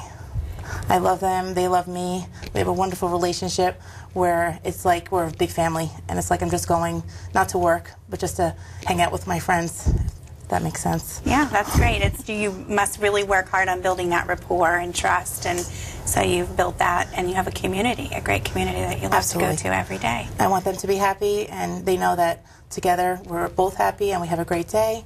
hmm Yeah, and, And it and works there's well. nothing better to wake up for than to go into school with that. Exactly. And thinking about, um, I know Palm Point has a lot of different technology. Um, share with us how you infuse technology into your daily routine. Oh, sure. One of the reasons why I was so excited when Palm Point opened was I knew there would be a plethora of technology there. So, I mean, we have state of the art technology between the calves, every internet program for the kids that we could think of. Actually, last year won a Reflex grant for my classroom, which was um, multiplication, division, addition, and subtraction fluency. So, I was a test trialed it and gave the kids such a love for learning math, they couldn't wait to get on it. Oh, that's exciting. Can yeah. you tell us a little bit more about, Sure, about that absolutely. example? Sure. Um, it's like they get leveled off for their multiplication, so that everyone starts, you know, at the beginning, and then they work towards their fluency, and then they get little awards according to how good they're doing, and nobody ever does real bad. You're always doing good. And they always are striving to get to that next level, the next level. There's games, but they just love going on it. That's great. So they're super engaged when it comes to learning Very their so. facts there. That's terrific. And when you're thinking about, I know that you said you went to school for business Yes. first, is that right? Yes. So um, what what about what was the timing and knowing that you wanted to be a teacher? How did that? Yeah, sure. I, I always wanted to be a teacher, Oh, okay. but I, I, something said to me, let's try the business field first. I wanted, you know, I worked in New York. I wanted to work on Wall Street and have that whole vision, but something was always missing. And when uh, 9/11 happened, I worked a few blocks away from there, and it was an eye opener for me. And I got to sit down and look at, you know, my life and said, you know, I need to go back to school to be a teacher because that's what I was meant to do. That's where your heart was, for sure. absolutely. Absolutely. And along that pathway, um, was there someone either early or maybe even later when you did your reflection that inspired you to be a teacher? Absolutely. My uh, second grade teacher always had a special place in my heart. And when I went back to school, I did my master's in a year and a half. I went real quick, and I had the opportunity to actually student teach with her. And it was her last year before she retired, so it was the best experience. She prepared me. I, I saw the relationship she had with her children, you know, her students, and I said, you know, this it couldn't have been any better. Absolutely, and a special connection for you too to be able to have that Oh, awesome. person who built you up so wonderfully in second grade to be able to then kind of culminate her year. Mm-hmm. Oh, I'm sure it was definitely. just as special she for loved it. I loved it. It was the best experience. Oh, that's terrific. And if you think about all the new teachers coming into the field, um, what what advice would you want to share with new teachers? I would definitely tell them to never give up because it can be stressful at times, of course. But you're you know where you're in it for. You're in it for the kids, and you have to you know make them happy. And if you show them that you love them, and you know you have that great relationship, they'll work as hard as they can for you. I've seen it. I see it daily. You know, you have that relationship where they can talk to you. You, you know, you're not their buddy where we're going to hang out, but you have that relationship where you know it's strong, and they respect you. I respect them, and you have a win-win situation. And they feel they can take risks with you and they Totally. trust you. Absolutely. That's so important. Great advice for new teachers. Yeah. And Miss Snyder, when you think about going into Jade's classroom and what you see and what you hear, um, go ahead and paint that picture for us. I see a teacher using best practice strategies, teaching children using, if they don't get it one way, it's like, let me try another way. I mean, she continuously um, works to make her practice better for all kids. I see technology being used. I always see a smile. I've never seen Jade um, look like she's stressed or looked like she's having a bad day. She walks into that classroom and she knows that she is the model for those children.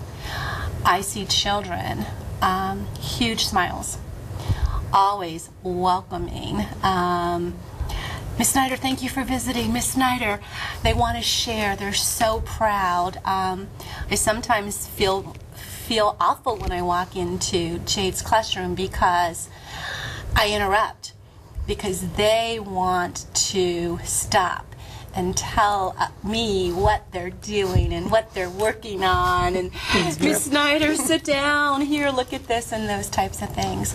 I see kids using manipulatives in math. I see kids with technology. And I think something that Miss Joy said that definitely is reflected in her classroom is everybody's happy. They are a family and they work together. It is not about one child being successful. They help each other. I've I mean I've seen kids not find a pencil when another child without even being asked said, "Here, you can use this one."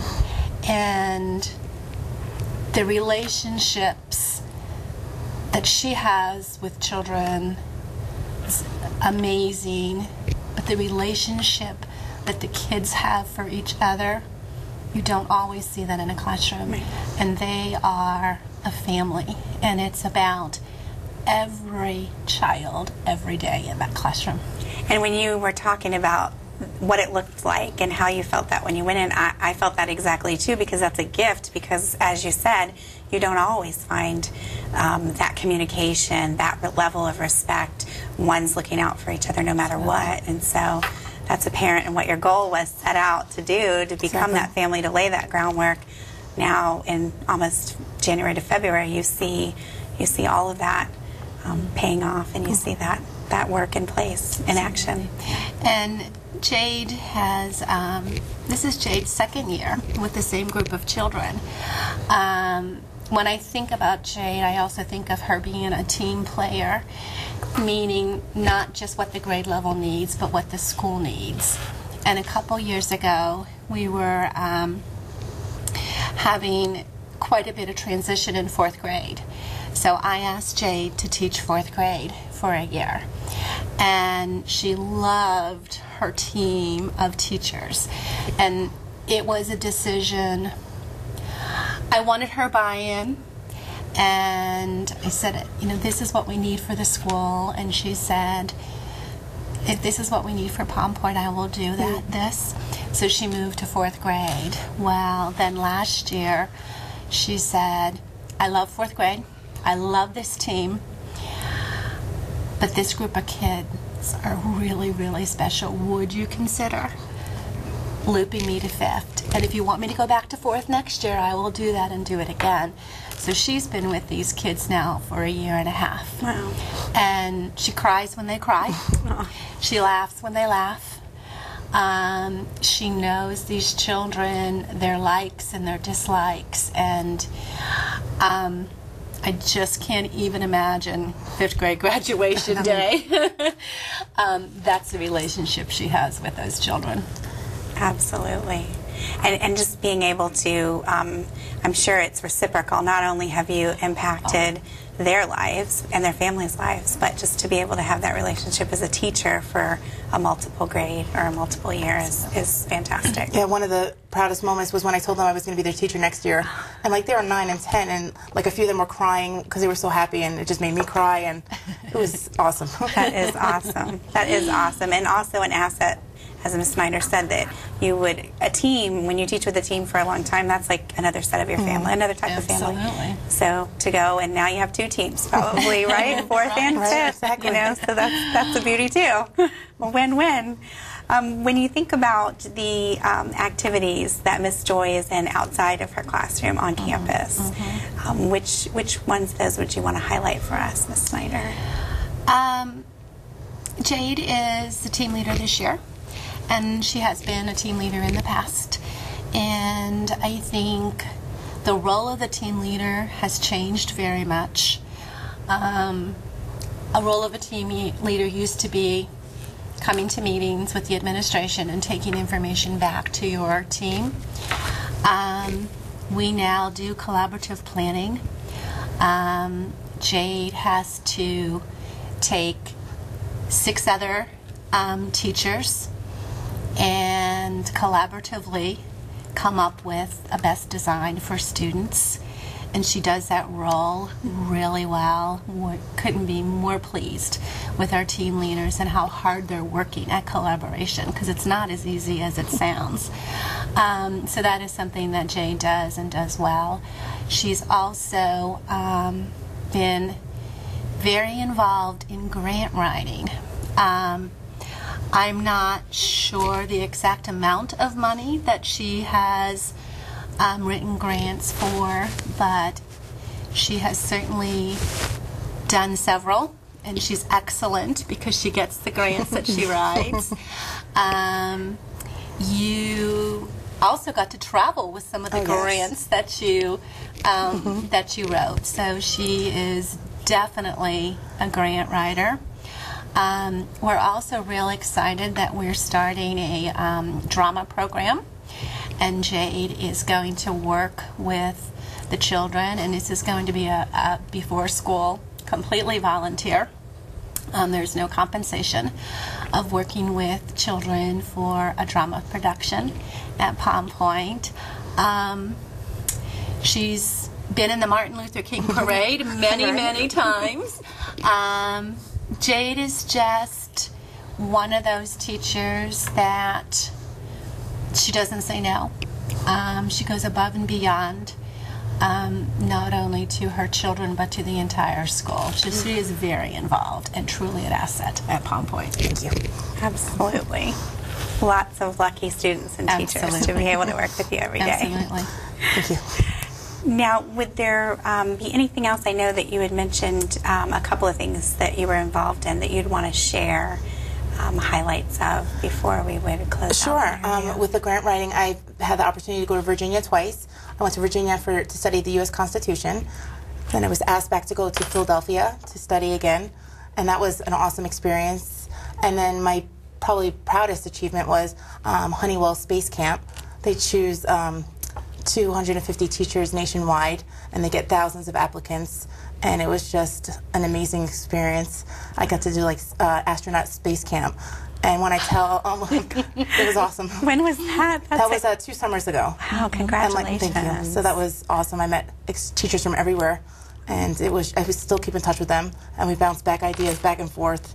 And when I tell my students about that, I show them pictures, and they're just in awe. They're like, "I want to be a scientist. I want to be an astronaut." You know, so it opens their eyes to the field. Absolutely. Wow. Congratulations. That's Thank you. phenomenal. Very nice. Um, Ms. Snyder, anything you'd like to say in closing? I just know um, I'm very proud of Palm Point teachers, and each year when we represent, when we choose somebody, they're representing a, a great staff. And Jade is so deserving. She is a principal's dream employee. Um, and again, it's not just about the students or about the adults, it's about the entire um, organization. Um, her parents love her. Um, she will go above and beyond to meet the needs of all children. Um, I think about one little boy that Jade's had for two years now, and um, he could be a challenge. And from day one, Jade loved this child and loves this child and turned behavior around quickly um, because he wants to please her and he wants to do his very best. So we are extremely pl- proud of Miss Joy and we wish her the very best as Absolutely. she continues in this endeavor. And it's been a delight for me to um, sit and actually get some more in, involved in your classroom. Thank so you. It's been a pleasure. pleasure. Thank you both for joining us today. We look forward to following the progress of Teacher of the Year. Thank you. Yeah. Thank you for joining us. We will be right back with another Teacher of the Year.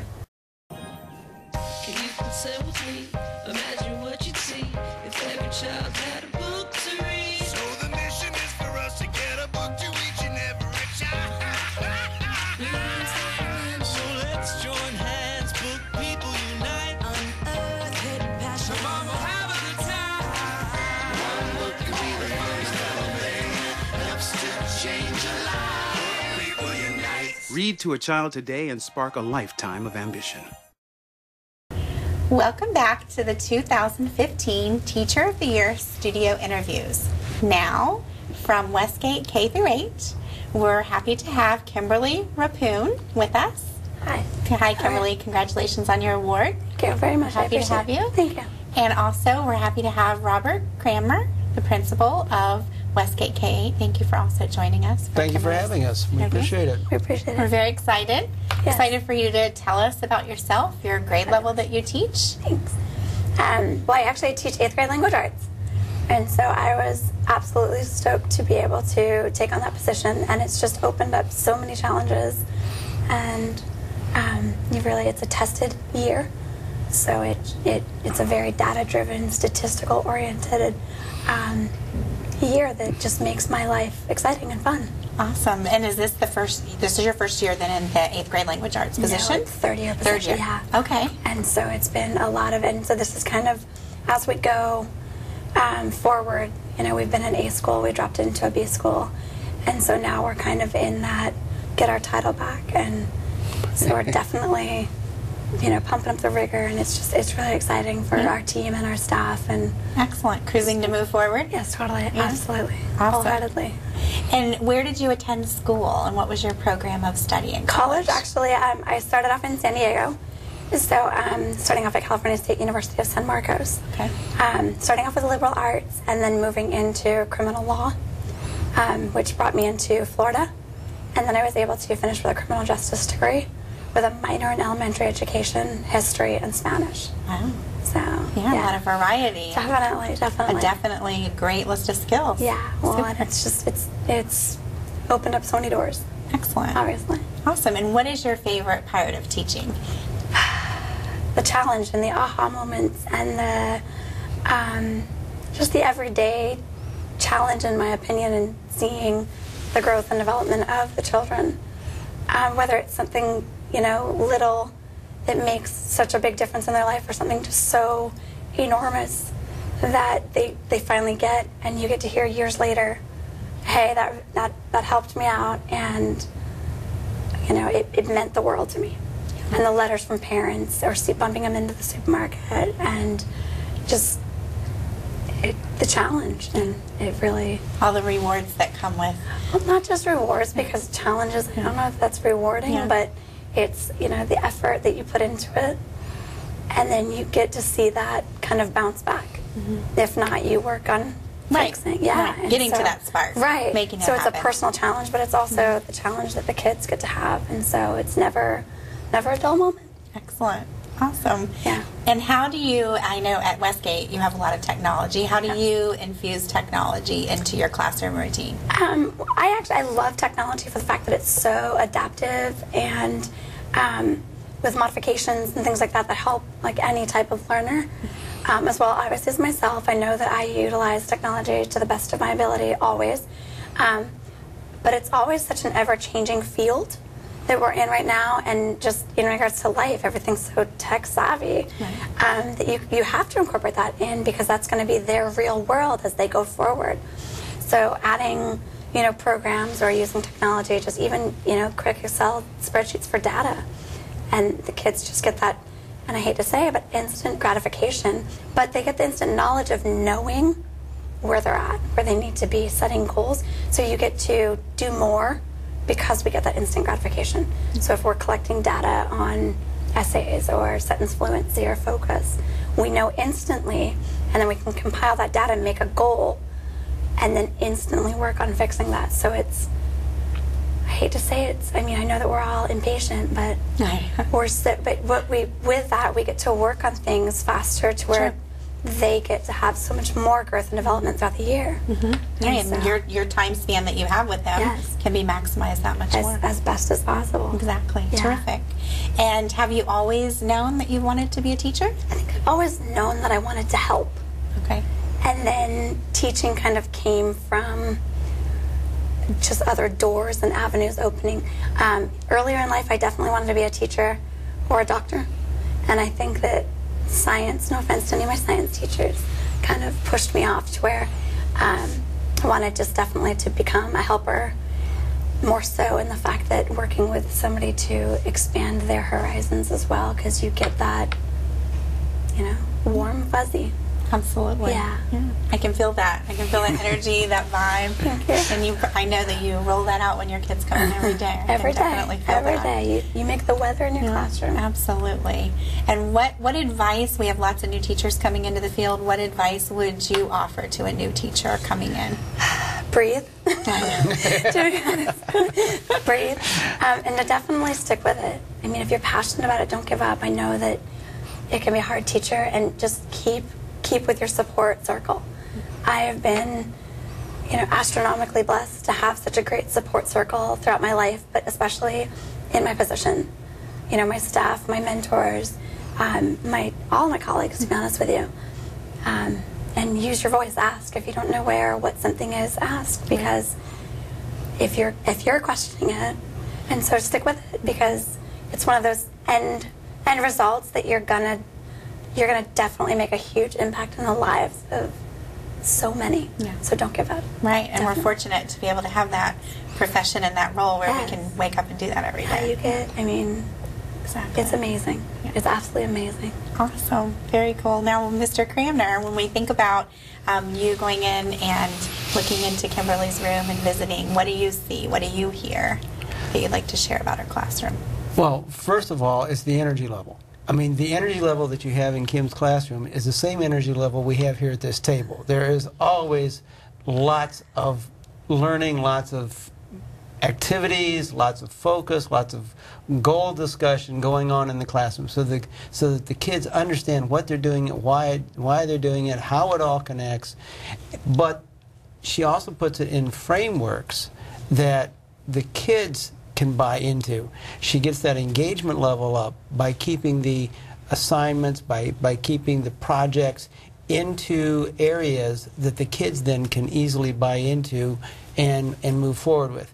Certainly, some of the stuff they do is, is very challenging because you're looking at eighth grade language arts writing, so you're looking at eh, um, expository and persuasive writing some of those topics and some of the things that they have to do to prep the kids for writing, and the kids have to learn to prep themselves to be better writers, those are very, very challenging. But also, she mixes when she can and with fun. They do a lot of relationship building within the classroom and as an eighth grade so that the students really feel that they know their teacher and the teacher knows them.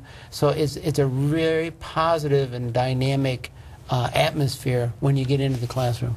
Sounds really exciting. I can feel the energy too, so I, I feel like I'm there. Yeah. Absolutely.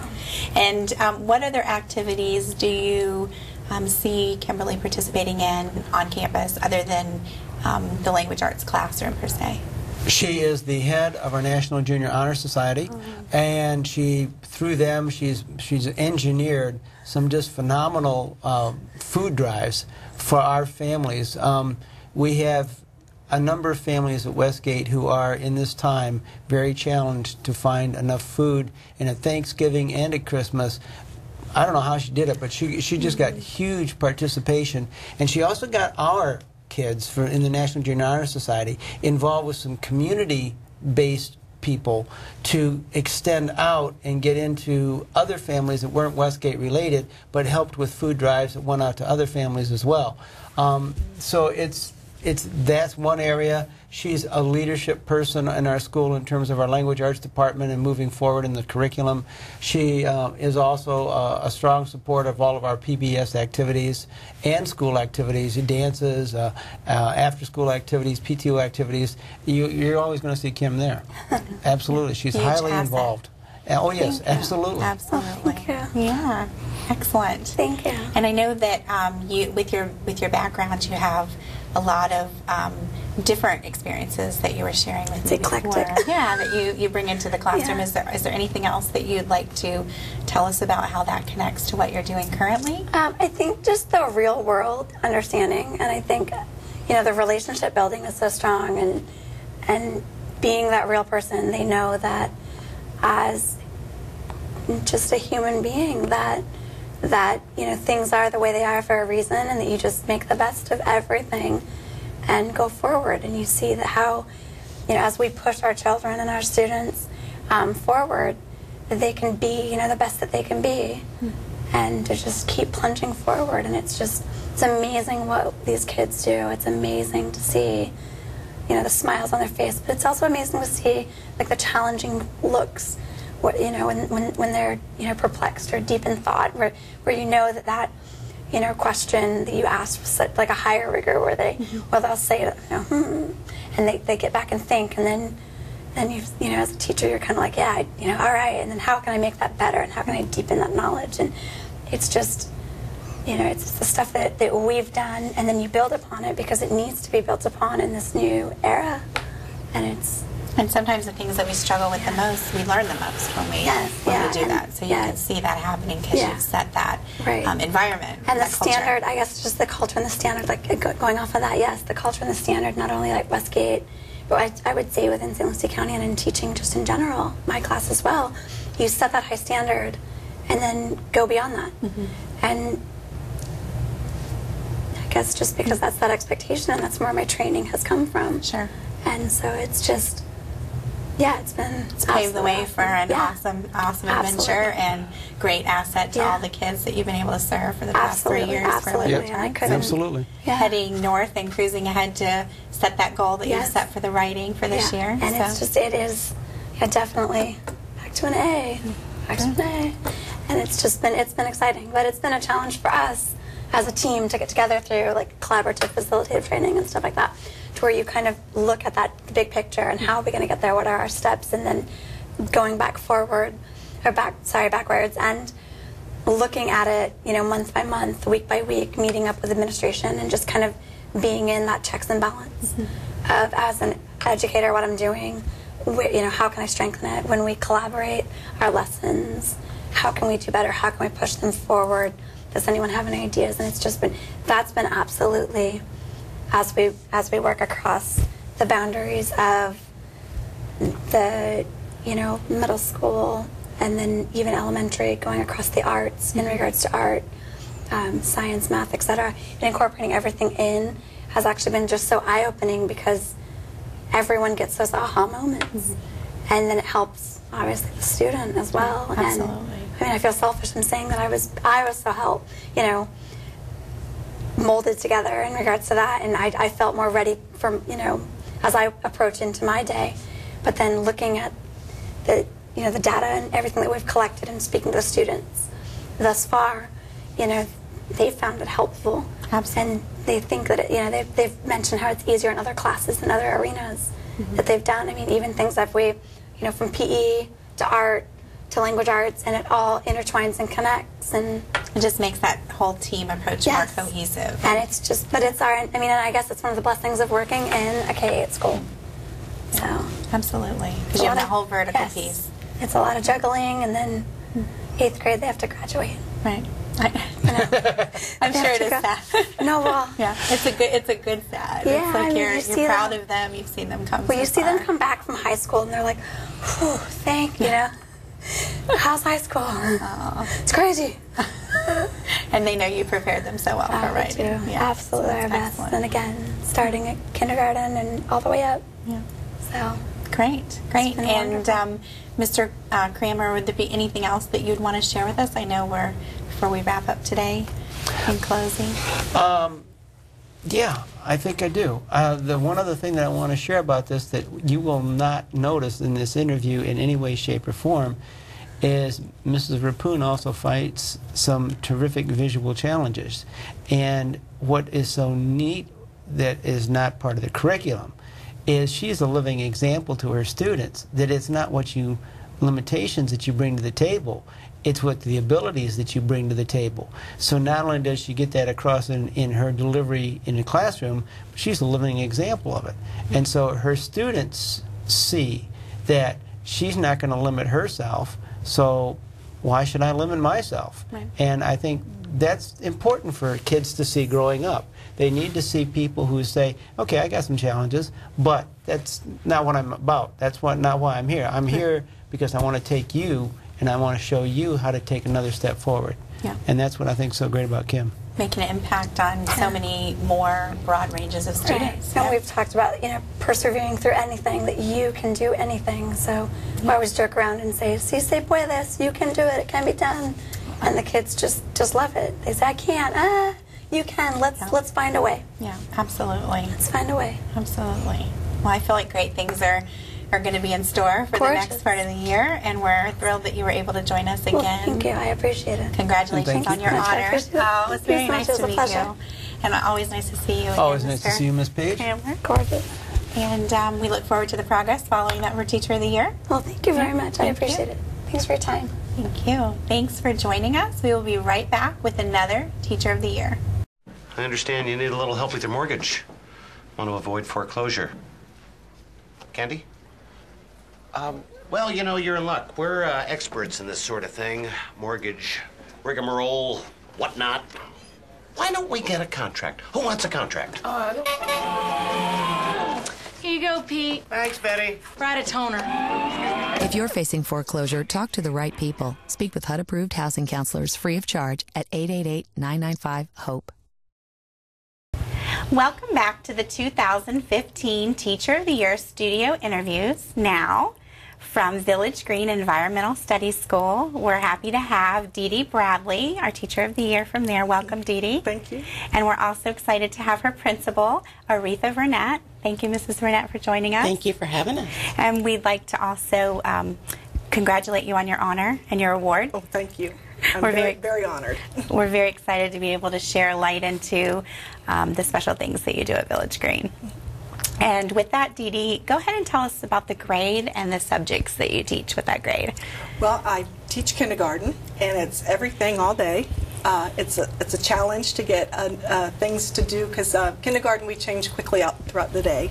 Uh, lots to do every day. So um, try to uh, with my team we try to incorporate a lot of the social studies, science, reading, writing, math, and everything that we can do. So if there's some place that we can plug in a little uh, lesson on with math and science or math and social studies, we try to try to do all that together so that we don't completely run out of time because there's so much to do in kindergarten. There is so much, absolutely. And where did you attend school, Dee Dee, for college? Um, well, I graduated from Georgia Southern College in Statesboro, Georgia, and um, I really loved it there. Uh, really nice. Uh, I came back to Florida, uh, to Martin County. I grew up in Martin County, went to the schools, and graduated from Martin County High School. And um, my grandparents uh, needed help as they got elderly, so I came back to Martin County and taught there for a while, and then came up to St. Lucie. Awesome. And what was your program of study at Georgia Southern? Uh, primary education. Okay. So that's three-year-olds to third grade. Excellent. The young ones. All right. And what is your favorite part of teaching? I really enjoy that the children uh, think that I am great. and I don't always get that from everywhere. But uh, you come in and everybody seems ready and excited to be there. Uh, they don't care that I can't sing on key. Um, and if something kind of goes awry, I really love that the children are able to adapt and change and just roll with the punches. And I just really love the age group. Yeah, those five-year-olds, they, they just have such an extraordinary love for their teacher in kindergarten. Yeah, I feel like mommy all over again every day. So Yeah, that's that's really awesome. And when you think about your kindergarten classroom and all the technology available to you, how do you infuse technology into your daily routine? I have to say, I love my document camera because the children really can uh, be able to see uh, what's going on. Uh, put it up there for everybody to see. And uh, I like to use the document camera. I do get on the internet for lessons, for ideas. Um, I really love Pinterest right now with all the different ideas that you get from everybody around the world about what they're doing in their kindergarten classes and what kind of neat centers and neat ideas that they're doing. So that's that's a great it's a great resource. I know, and being able to share, like you said, worldwide with a click of a button, it's pretty amazing. in fact, I had to change. Uh, I was looking at uh, Pinterest the other day, at, not at school, and uh, and uh, it was somebody I had to I had to translate into English.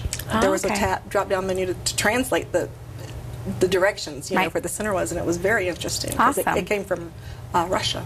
Wow, Yeah. that's neat. Very neat. So then you can share I feel, I feel global. I feel Yeah. global. Absolutely. Sharing ideas from far away and Mhm. doing that translation, that's pretty cool. Yeah. And have you always known that you've wanted to be a teacher? I know you said you had some family members that were teachers. Mhm. I have quite a few family members that were uh, elementary teachers. Um, my cousin is, is currently in the county teaching high school, mm, which amazes me. But um, no, I started out in college in pre-law and decided that, you know what, I was a nicer person. Not anything against lawyers, but just a nicer, calmer person.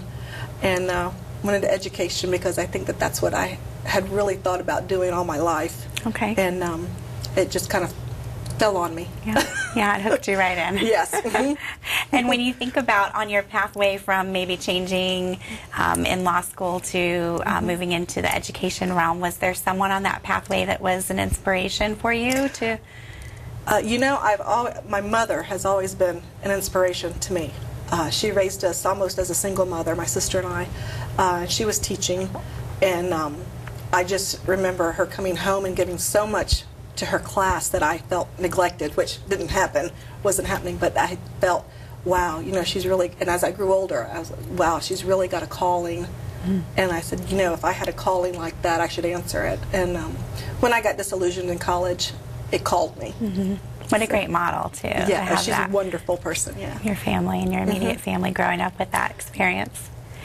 And when we think about all the new teachers coming into the district, what advice would you offer a new incoming teacher? Um, well, I think um, I have three new teachers on my team this year, new to the district, and uh, they're non-traditional, brand new teachers. But um, I tell them to be able, just to be able to take it all in in stride.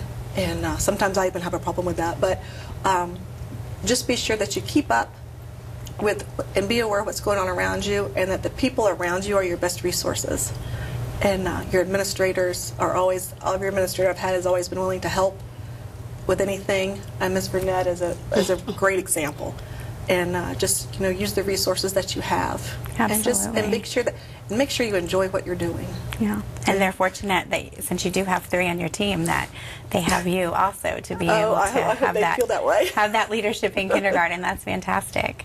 And when Mrs. Miss Vernette, when you visit into Dee Dee's classroom, what types of things do you see and hear? It was very interesting hearing her describe how um, the students react to her. Uh, she is like a celebrity in the classroom. the students are truly enamored with her. Uh, I see a lot of engagement in her classroom, and what I am really proud of is uh, the mathematics that are going on in her classroom. In the in uh, at the kindergarten level, um, you'd be amazed how much math that's going on. So right now in Miss Bradley's class, they are studying um, geometric 2D figures, two-dimensional geometric figures. And as um, a mathematician, I'm just so proud to see that happening um, at that level. And you will see a lot of manipulatives in her classrooms. Her students will um, use the manipulatives to help them compute math problems or figure out and reason with shapes. Um, she has a word wall in her classroom. Writing. I love the fact that kindergartners not only um, work with computational skills, they also are developing their writing skills. And at this level, they need a little help from their teacher. So she gives them the writing stems, and they are able to complete the sentences. So that's amazing as well. Absolutely. When you're thinking about five year olds being able to go from random letters and you see that change, it's a huge differentiation for writing as well as, like you were saying, for math, that concrete with the manipulative. So, It's a, it's a great um, step between uh, when they first walk in, the first day of kindergarten, and when they go to first grade, and uh, what they can do and what they can achieve. and you're probably seeing a lot of that flourish right now. January, February are Oh. definitely I a always, lot of I always moments. thought that um, it was like the little train that could. You got, uh, January seems like everybody hits their old, the top of the hill with their train, and then it's kind of downhill from here because they all of a sudden it's like a little light goes off, and you can see that in their eyes Right. and their facial expression that the light does go off. Yeah, and they're just cruising. They're they- they really love and they learning, it. absorbing. Mhm. Mhm. That's neat. Very neat. And what other activities, um, Ms. Vernette, do you see Dee Dee apply as far as outside the classroom on campus?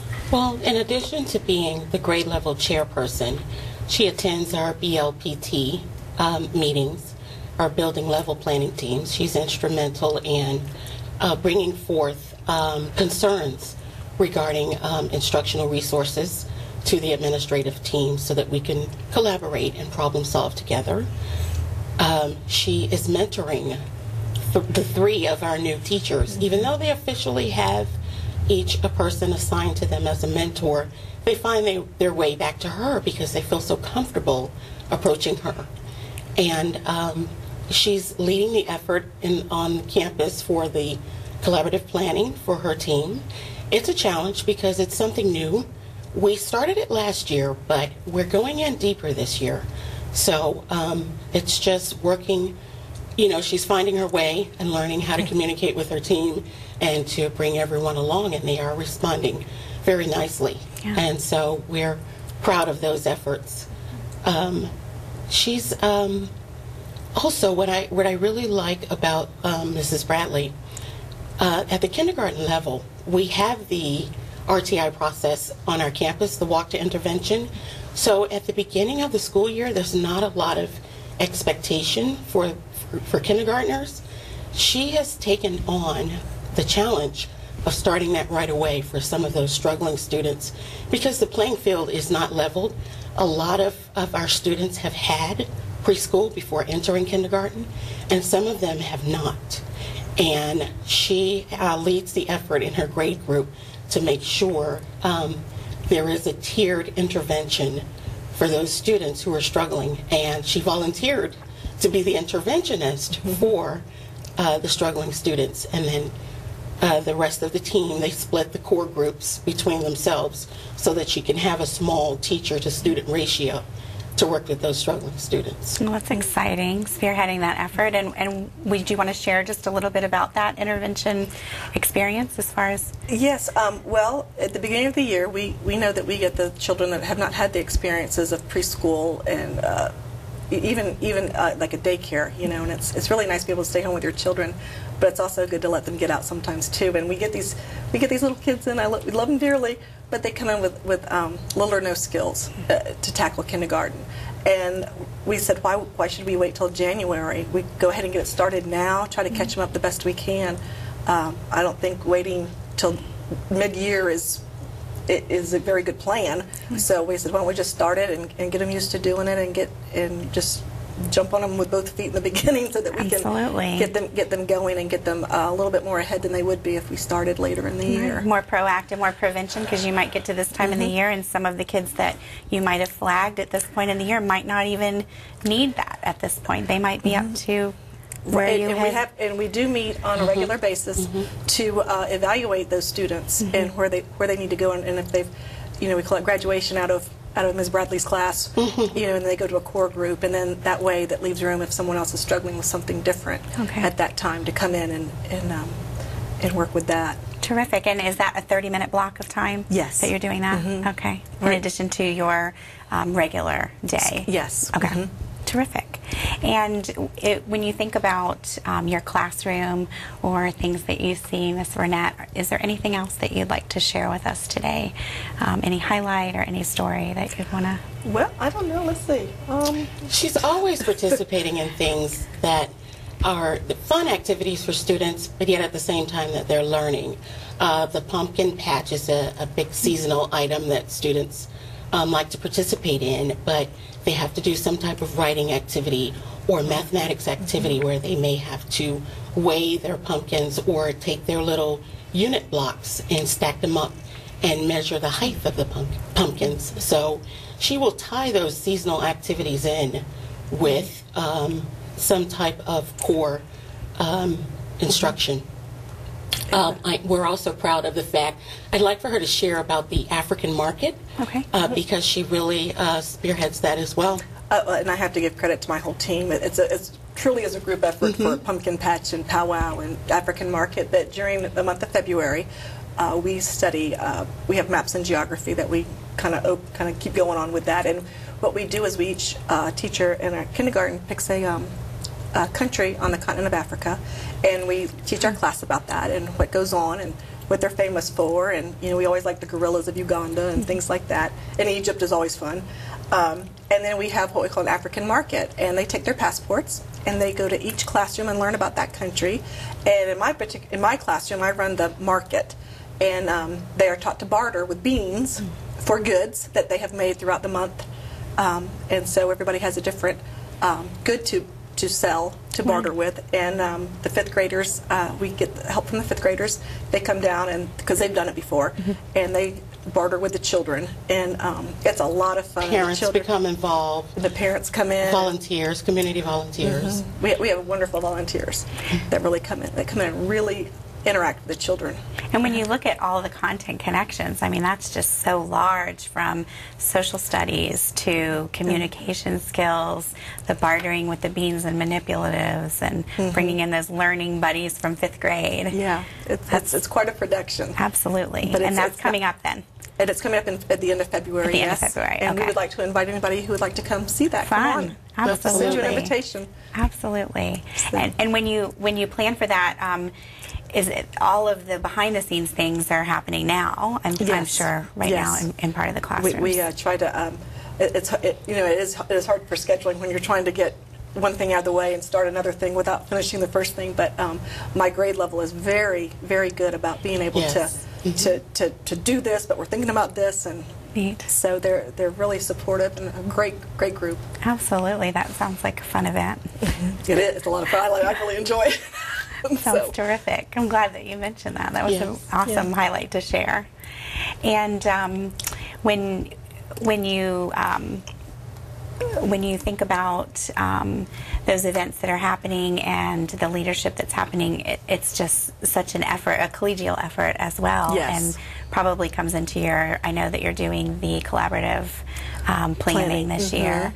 Is there anything that you'd want to share about that that experience with your team as well? Yes, well, well um, we, do, we get together, and um, it, it, it's been a it's been a shift from sharing to collaborative planning, and and that's that's been a, um, something I think that kindergarten teachers everywhere probably have a struggle with because it's so fun to say, oh, we did this and it was so Mhm. fun, but um, to, for the planning to make sure that the children are really um, they're really internalizing information, able to think on their own and think critically. It's um, it, it, it is it's a challenge and it's um, uh, a lot of fun to be able to sit with colleagues and interesting to see what, what they're doing and what they think and, and how they think kids kids work. Right. So because you know not everybody's not one person's right about anybody. Sure, absolutely. But um, for, for you know what works for their what works for their group or what works for this child and I'm having trouble with this child so let's try to do this and and I think that having the kids uh, the students think more critically about their world and and what's really going on and, and things that they need to know as far as the Common Core. Um, I think it's just going to prepare them even more for upper grades and a successful uh, career in school and life. Absolutely. And the kindergarten team, under Ms. Bradley's leadership, is responding well. They do not like to be left out of any initiative that's happening on campus. So, right now, as we plan to include more rigor um, in the classroom, the kindergarten team is also learning how to develop uh, different questions with different levels of complexity.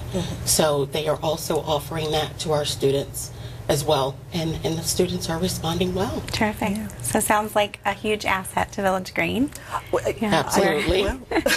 Yeah. She's going to be modest about it, but yes, Absolutely. Yeah. we feel so. Well, we are we are really pleased that we were able to have both of you on today to share all of your happenings and exciting events at Village Green. Thank you. And again, congratulations on your Thank you. award, and we look forward to following the progress with you. Oh, well, thank you so much.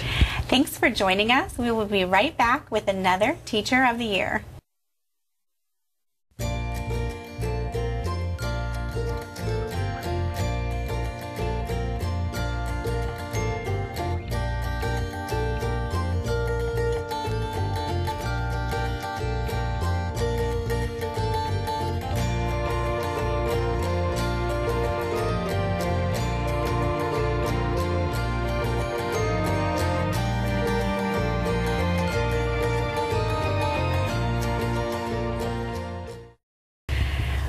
Back to the 2015 Teacher of the Year studio interviews. Now, from Weatherbee Elementary, we're happy to have Cindy Wintercamp. Welcome, Cindy. Oh, thank you. And we're also happy to have Michael Hitzman, her principal. Thank you, Mr. Hitzman, for joining Always us. my pleasure. And first and foremost, we'd like to congratulate you on your award for Thank Teacher of the. Year. Thank you. I'm honored. We're excited to have you to shed light into some great things happening at Weatherbee in your classroom. Okay. And with that, Cindy, go ahead and tell us about the grade and the subjects that you teach at Weatherbee. Well, I'm a general education teacher. I teach first grade. Um, I've been teaching for 20 years. This is my 20th year teaching. Um, I've taught in the state of Florida. I've taught in North Carolina. Um, the first grade is where I teach now. I've also taught kindergarten. I've taught second grade, and I love first grade. First grade's a wonderful age to teach. The kids are just so excited to be learning, and they're like little sponges waiting to hear every little thing that you have to say, and they're they're exciting. And I think the amount of learning in first grade, when you think, I'm just thinking about reading, it's just you have such Yes. huge growth and levels. About this time, you're probably seeing really excited Yeah, the developmental growth and the Mhm. reading growth is all Mhm. kicking in right now. So they're getting excited about their own learning because they're really feeling that they have started to learn and are understanding concepts. So they're excited. Fun. Great to wake up every morning to go to first grade. Absolutely. And where did you attend school, Cindy, and what was your program of study? I attended um, in Fort Lauderdale. I went to Southeastern University. Back then it was Nova University. And um, I also uh, received my master's in North Carolina from Pfeiffer University. Um, both were in education, so I'm a big education major, studied a lot. Um, a lot with differentiation, especially in North Carolina. And Common Core, they were starting back when I was there, they had already knew some things about Common Core and Marzano, so there was a lot going on there as well. Terrific, And I was able to bring it with me here to St. Lucie. Absolutely. That's what I was going to say. A great foundation Yeah. to support to support other teachers and do some mentoring and modeling there. Fabulous. And when you think about um, teaching, what's your favorite part of teaching? I have to say, like right now, especially, is the most fun. In the beginning, when they first come in, they're still so young. They're little kindergarten-ish, which I loved that grade. I taught that grade for 10 years. But in second grade, what I love so much is they'll struggle for a little while, and then all of a sudden that light bulb comes on, and you get to really, really enjoy when they're sitting there and they're they're lost for a moment, and then all of a sudden you you'll, you'll see them just light up, and oh my God, I understand it. I know how to do it. I'm like, yeah. Especially the reading, because you'll you'll hear them. I can read these words. I know these words, and they're so excited. You see their fluency growth, and their parents even come in quite often and share with me experiences and how excited they are over their child's learning. So there's a lot of rewards at both ends through the students as well as the parents. Absolutely. And every time you see that, you feel that Yeah, warmth. yeah, we just Yeah, love it. That's terrific. And then when when you think about technology, how do you infuse that into your daily routine? Well, one of the things I love in St. Lucie County is that we have a lot at our disposal. Um, we just started reading counts at our school, so our students um, are able to go on to the um, to read in the classroom and then can go on to the computer and assess themselves. They get immediate feedback. They get excited. They get competitive. But we, as teachers here in our county, we get to use um, our CAV system and we um, infuse. Um, PowerPoints into our lessons. We use uh, different types of game shows that we get to play with the students using um, the CAV system. And just, I had an incident once. Um, I, I taught summer school in 2012, and they had um, someone come in from the community to. Um, bring he brought all different types of animals in for the kids to see. And we um, there was one animal in particular um, it was a bird that none of us knew about. I didn't even know about it. So i we went back to the classroom and since it summer school that year was at Weatherbee i had my computer there and the use of uh, the caf system we went on and we researched it right there and then. So it was immediate feedback with the kids. They got to find out what the bird was like where it, you know where you would find that particular bird and they were really excited It is exciting to have that at your fingertips. Right at your fingertips, Yeah. right there. It's wonderful. It's Yeah. great. It's, it's terrific. And just to be able, like you had said, that research, Right to be able to put that right in place immediately. Exactly. Yeah. Great. Terrific. And have you always known that you've wanted to be a teacher? Um, I have to say no, I didn't know that. As a matter of fact, um, I worked for Nova Southeastern University, and part of our benefits package was that we um, we were allowed to take classes. And I had two small children at the time, and I wanted to help them in education. So I thought, well, let me go to school and make sure I'm doing some education courses so that I'm helping the teacher in the right way and not teaching my children the wrong thing. And that was it. I walked into the classroom, you know, I had to do a few observations and I saw what the teachers were doing.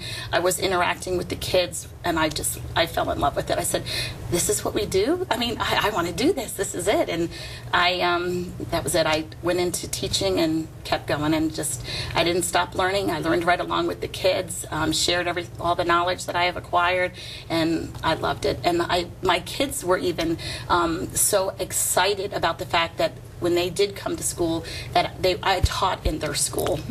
So I knew I was going to what school I picked out the school that I wanted to work and work in and I met the principal. I um, lined everything up so I could do my student teaching at this particular school and I had everything all planned out and it worked. it was great. It's a great So, story. is, and yeah. how special for your kids. They love it. For They your love it. As a matter of fact, my youngest was with me for a while in elementary. And then in second grade, she decided she wanted to go to another school. So I said, okay, you can go to our home school. And uh, the next year she came back. She goes, no, we're so special here. Everybody knows us. so there's, there's a nice benefit to that, too. Absolutely, absolutely. absolutely. That's fabulous. And when you um, think about that pathway from when you went into those classrooms to learn uh, with your students, with your own students and your kids in school, um, was there someone along that pathway that inspired you? One of their teachers or a family member to be a teacher? Um, I have to say, my parents were very supportive. they were always wanting me to make sure I had goals and set my sight on something high. Um, and when I told them I was going for education, they backed me 100% and were excited. Um, you know, going to school, I had to, I worked during the day and I went to school at night and I needed support from someone to watch two small children. So um, my mom and my dad and my mother-in-law, they all pitched in. It was a whole family effort to take care of my husband worked nights, so he couldn't do it. So um, they came over, put the kids to bed. I had to do the studying, and they've continued. I'm, I'm national board certified, so when I was doing my national board certification, I had my little one on my lap and typing away, and um, the family pitched in again. You know, by then I had had a third child, and they all pitched in to help out. So it's been a family effort. My family has been so supportive to me in education That's and get, receiving my degrees. Yeah, and you're definitely a lifelong learner. Yes, yes, now, that's true. Your national board, what um, area did you Uh, receive that in? Uh, general The general education. general education, um, primary. Terrific. Absolutely. That's awesome. And we have lots of new teachers coming in. I know you're a veteran teacher. What advice would you offer a new teacher coming in? Well, I'm really excited because I just had a student teacher um, this past semester, and she's here. She's with us at Weatherbee, so I'm very excited. And I um, really told her to just be sure to stay organized, stay flexible. Um, she's taking over in the middle of the year, so I said, stay firm. You know, keep your routines going in place, and everything will fall into place for you. Know that you have me here to help you along the way. And even if she didn't stay at Weatherbee, I would have always been a phone call away. I always encourage them to um, to keep in touch, and I'm still in touch with my mentor, who I started with 20 years ago. So we still keep in touch. Yeah. And I would have them do the same thing, and I told them I'm there for you. So, and I'm her mentor now. So it's Terrific. great. Yeah. And she, what did she stay on in first grade? No, as well? she's, she's in kindergarten, Okay. but right down That's the hall. great. Very nice.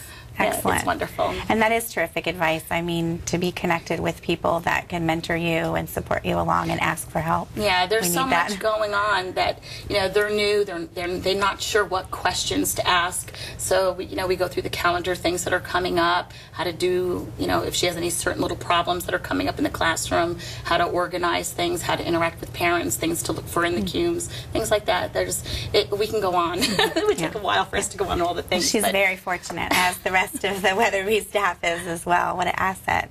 Terrific.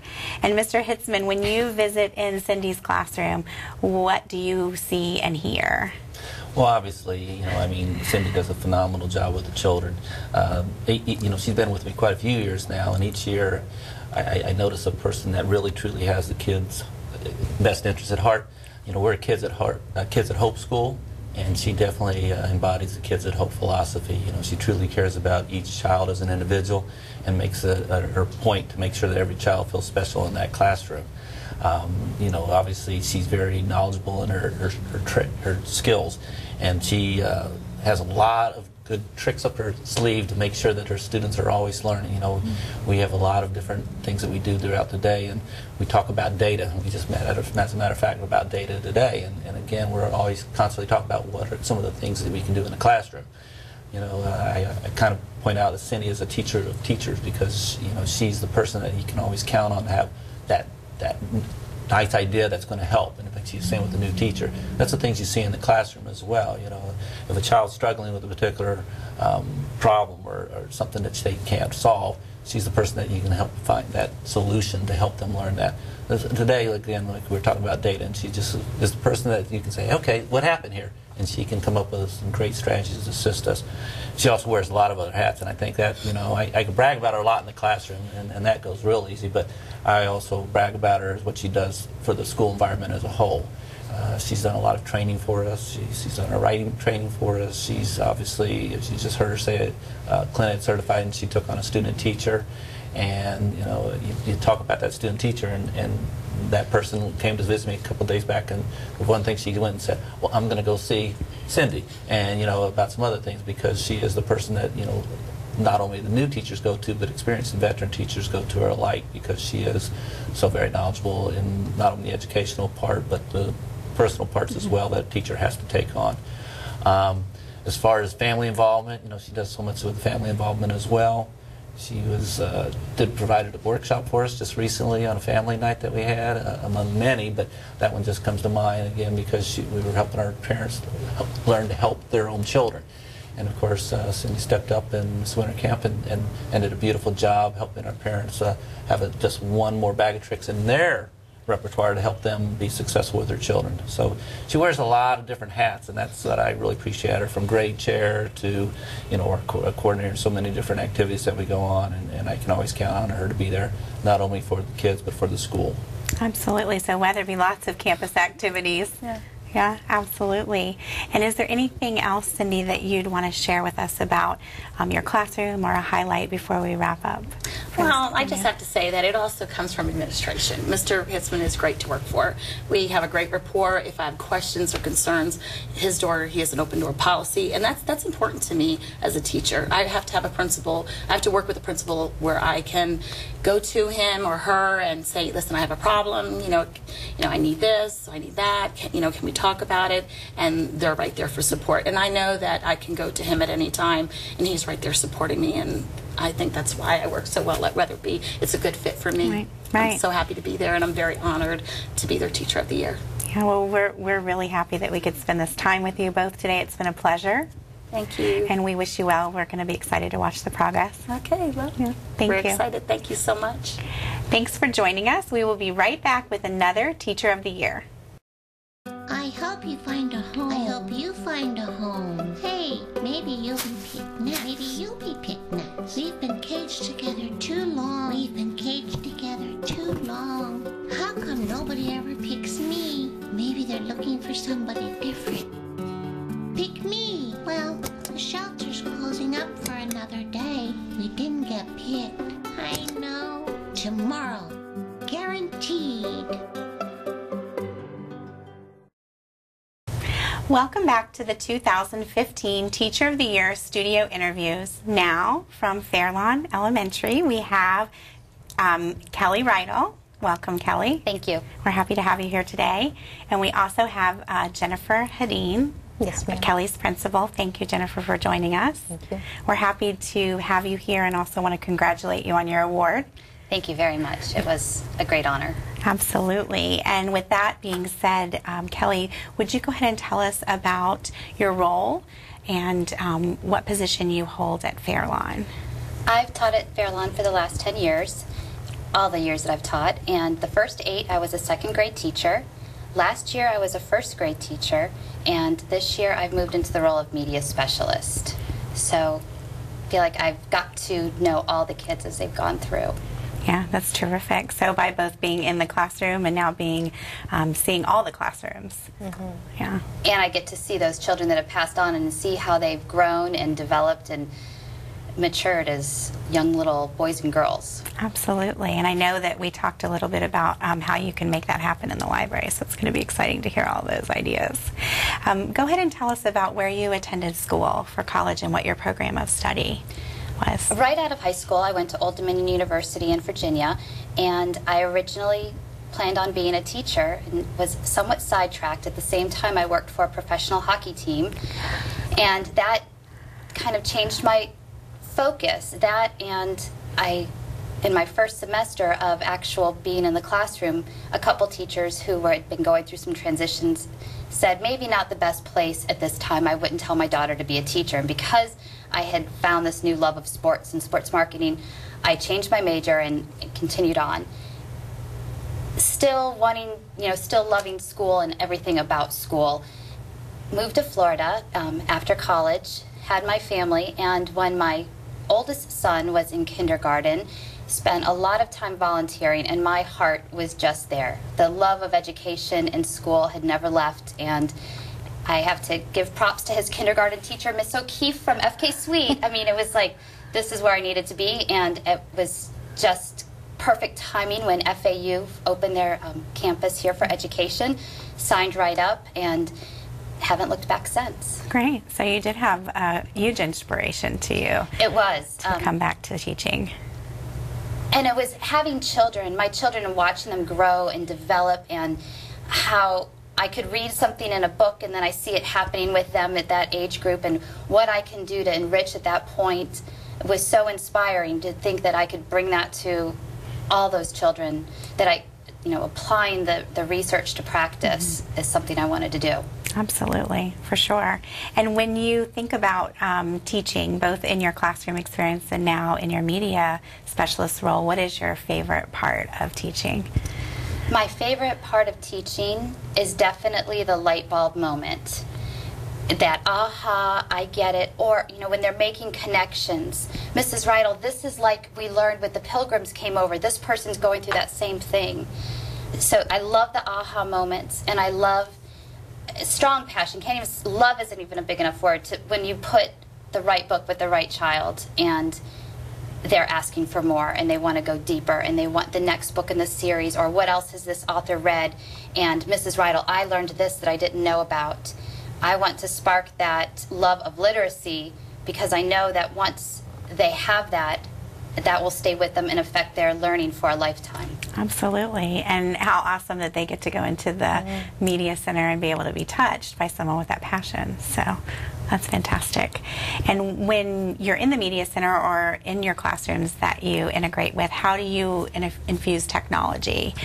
Um, I use technology so much, especially in the last two years, but as much for myself as in presenting to the children because this transition with Common Core when I was in first grade, and now not having a set curriculum for the library, I use it for professional development. I, I'm a member of many different blogs.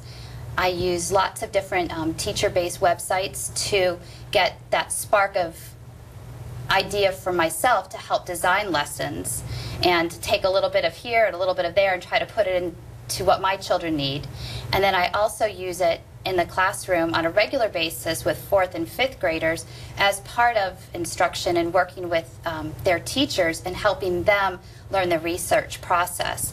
St. Lucie County has so many great websites and um, different avenues of research available that they didn't understand. So we've worked really hard on trying to get the children comfortable in accessing the different online databases in order to be able to do their research at home and at school, but then also to use their um, the Destiny sites to create their own personal reading list. So they're also tracking their independent reading, and they have they are in the process of owning that and utilizing it and sharing it with their parents. I've had a lot of parents that have texted me or called at night. How do I get on that site again? My kids are talking about it. I, I want to use it. And that to me has been my biggest goal for the year. I, by the end of the year, I want them all on it and I want their parents on it and knowing about it.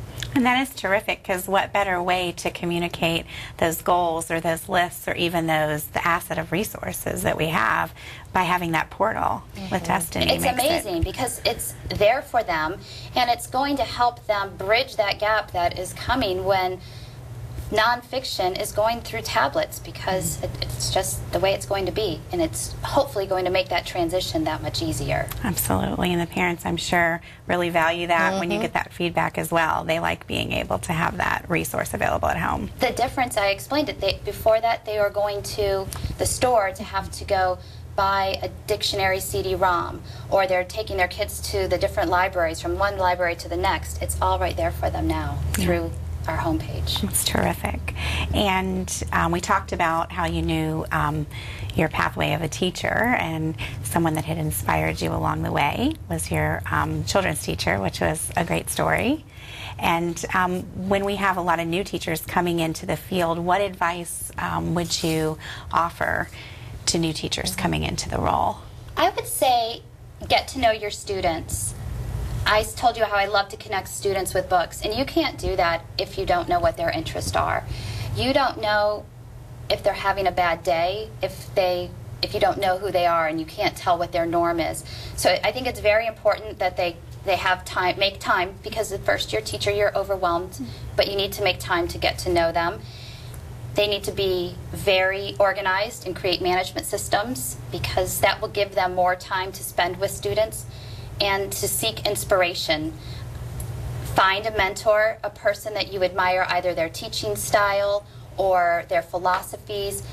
Seek inspiration, as I said, on the internet, going back to the school that they were from and talking to professors because once you go behind those doors, it's easy to forget that there is so much out there for you and so many people willing to help. Right. So just remember to reach out to all those different people.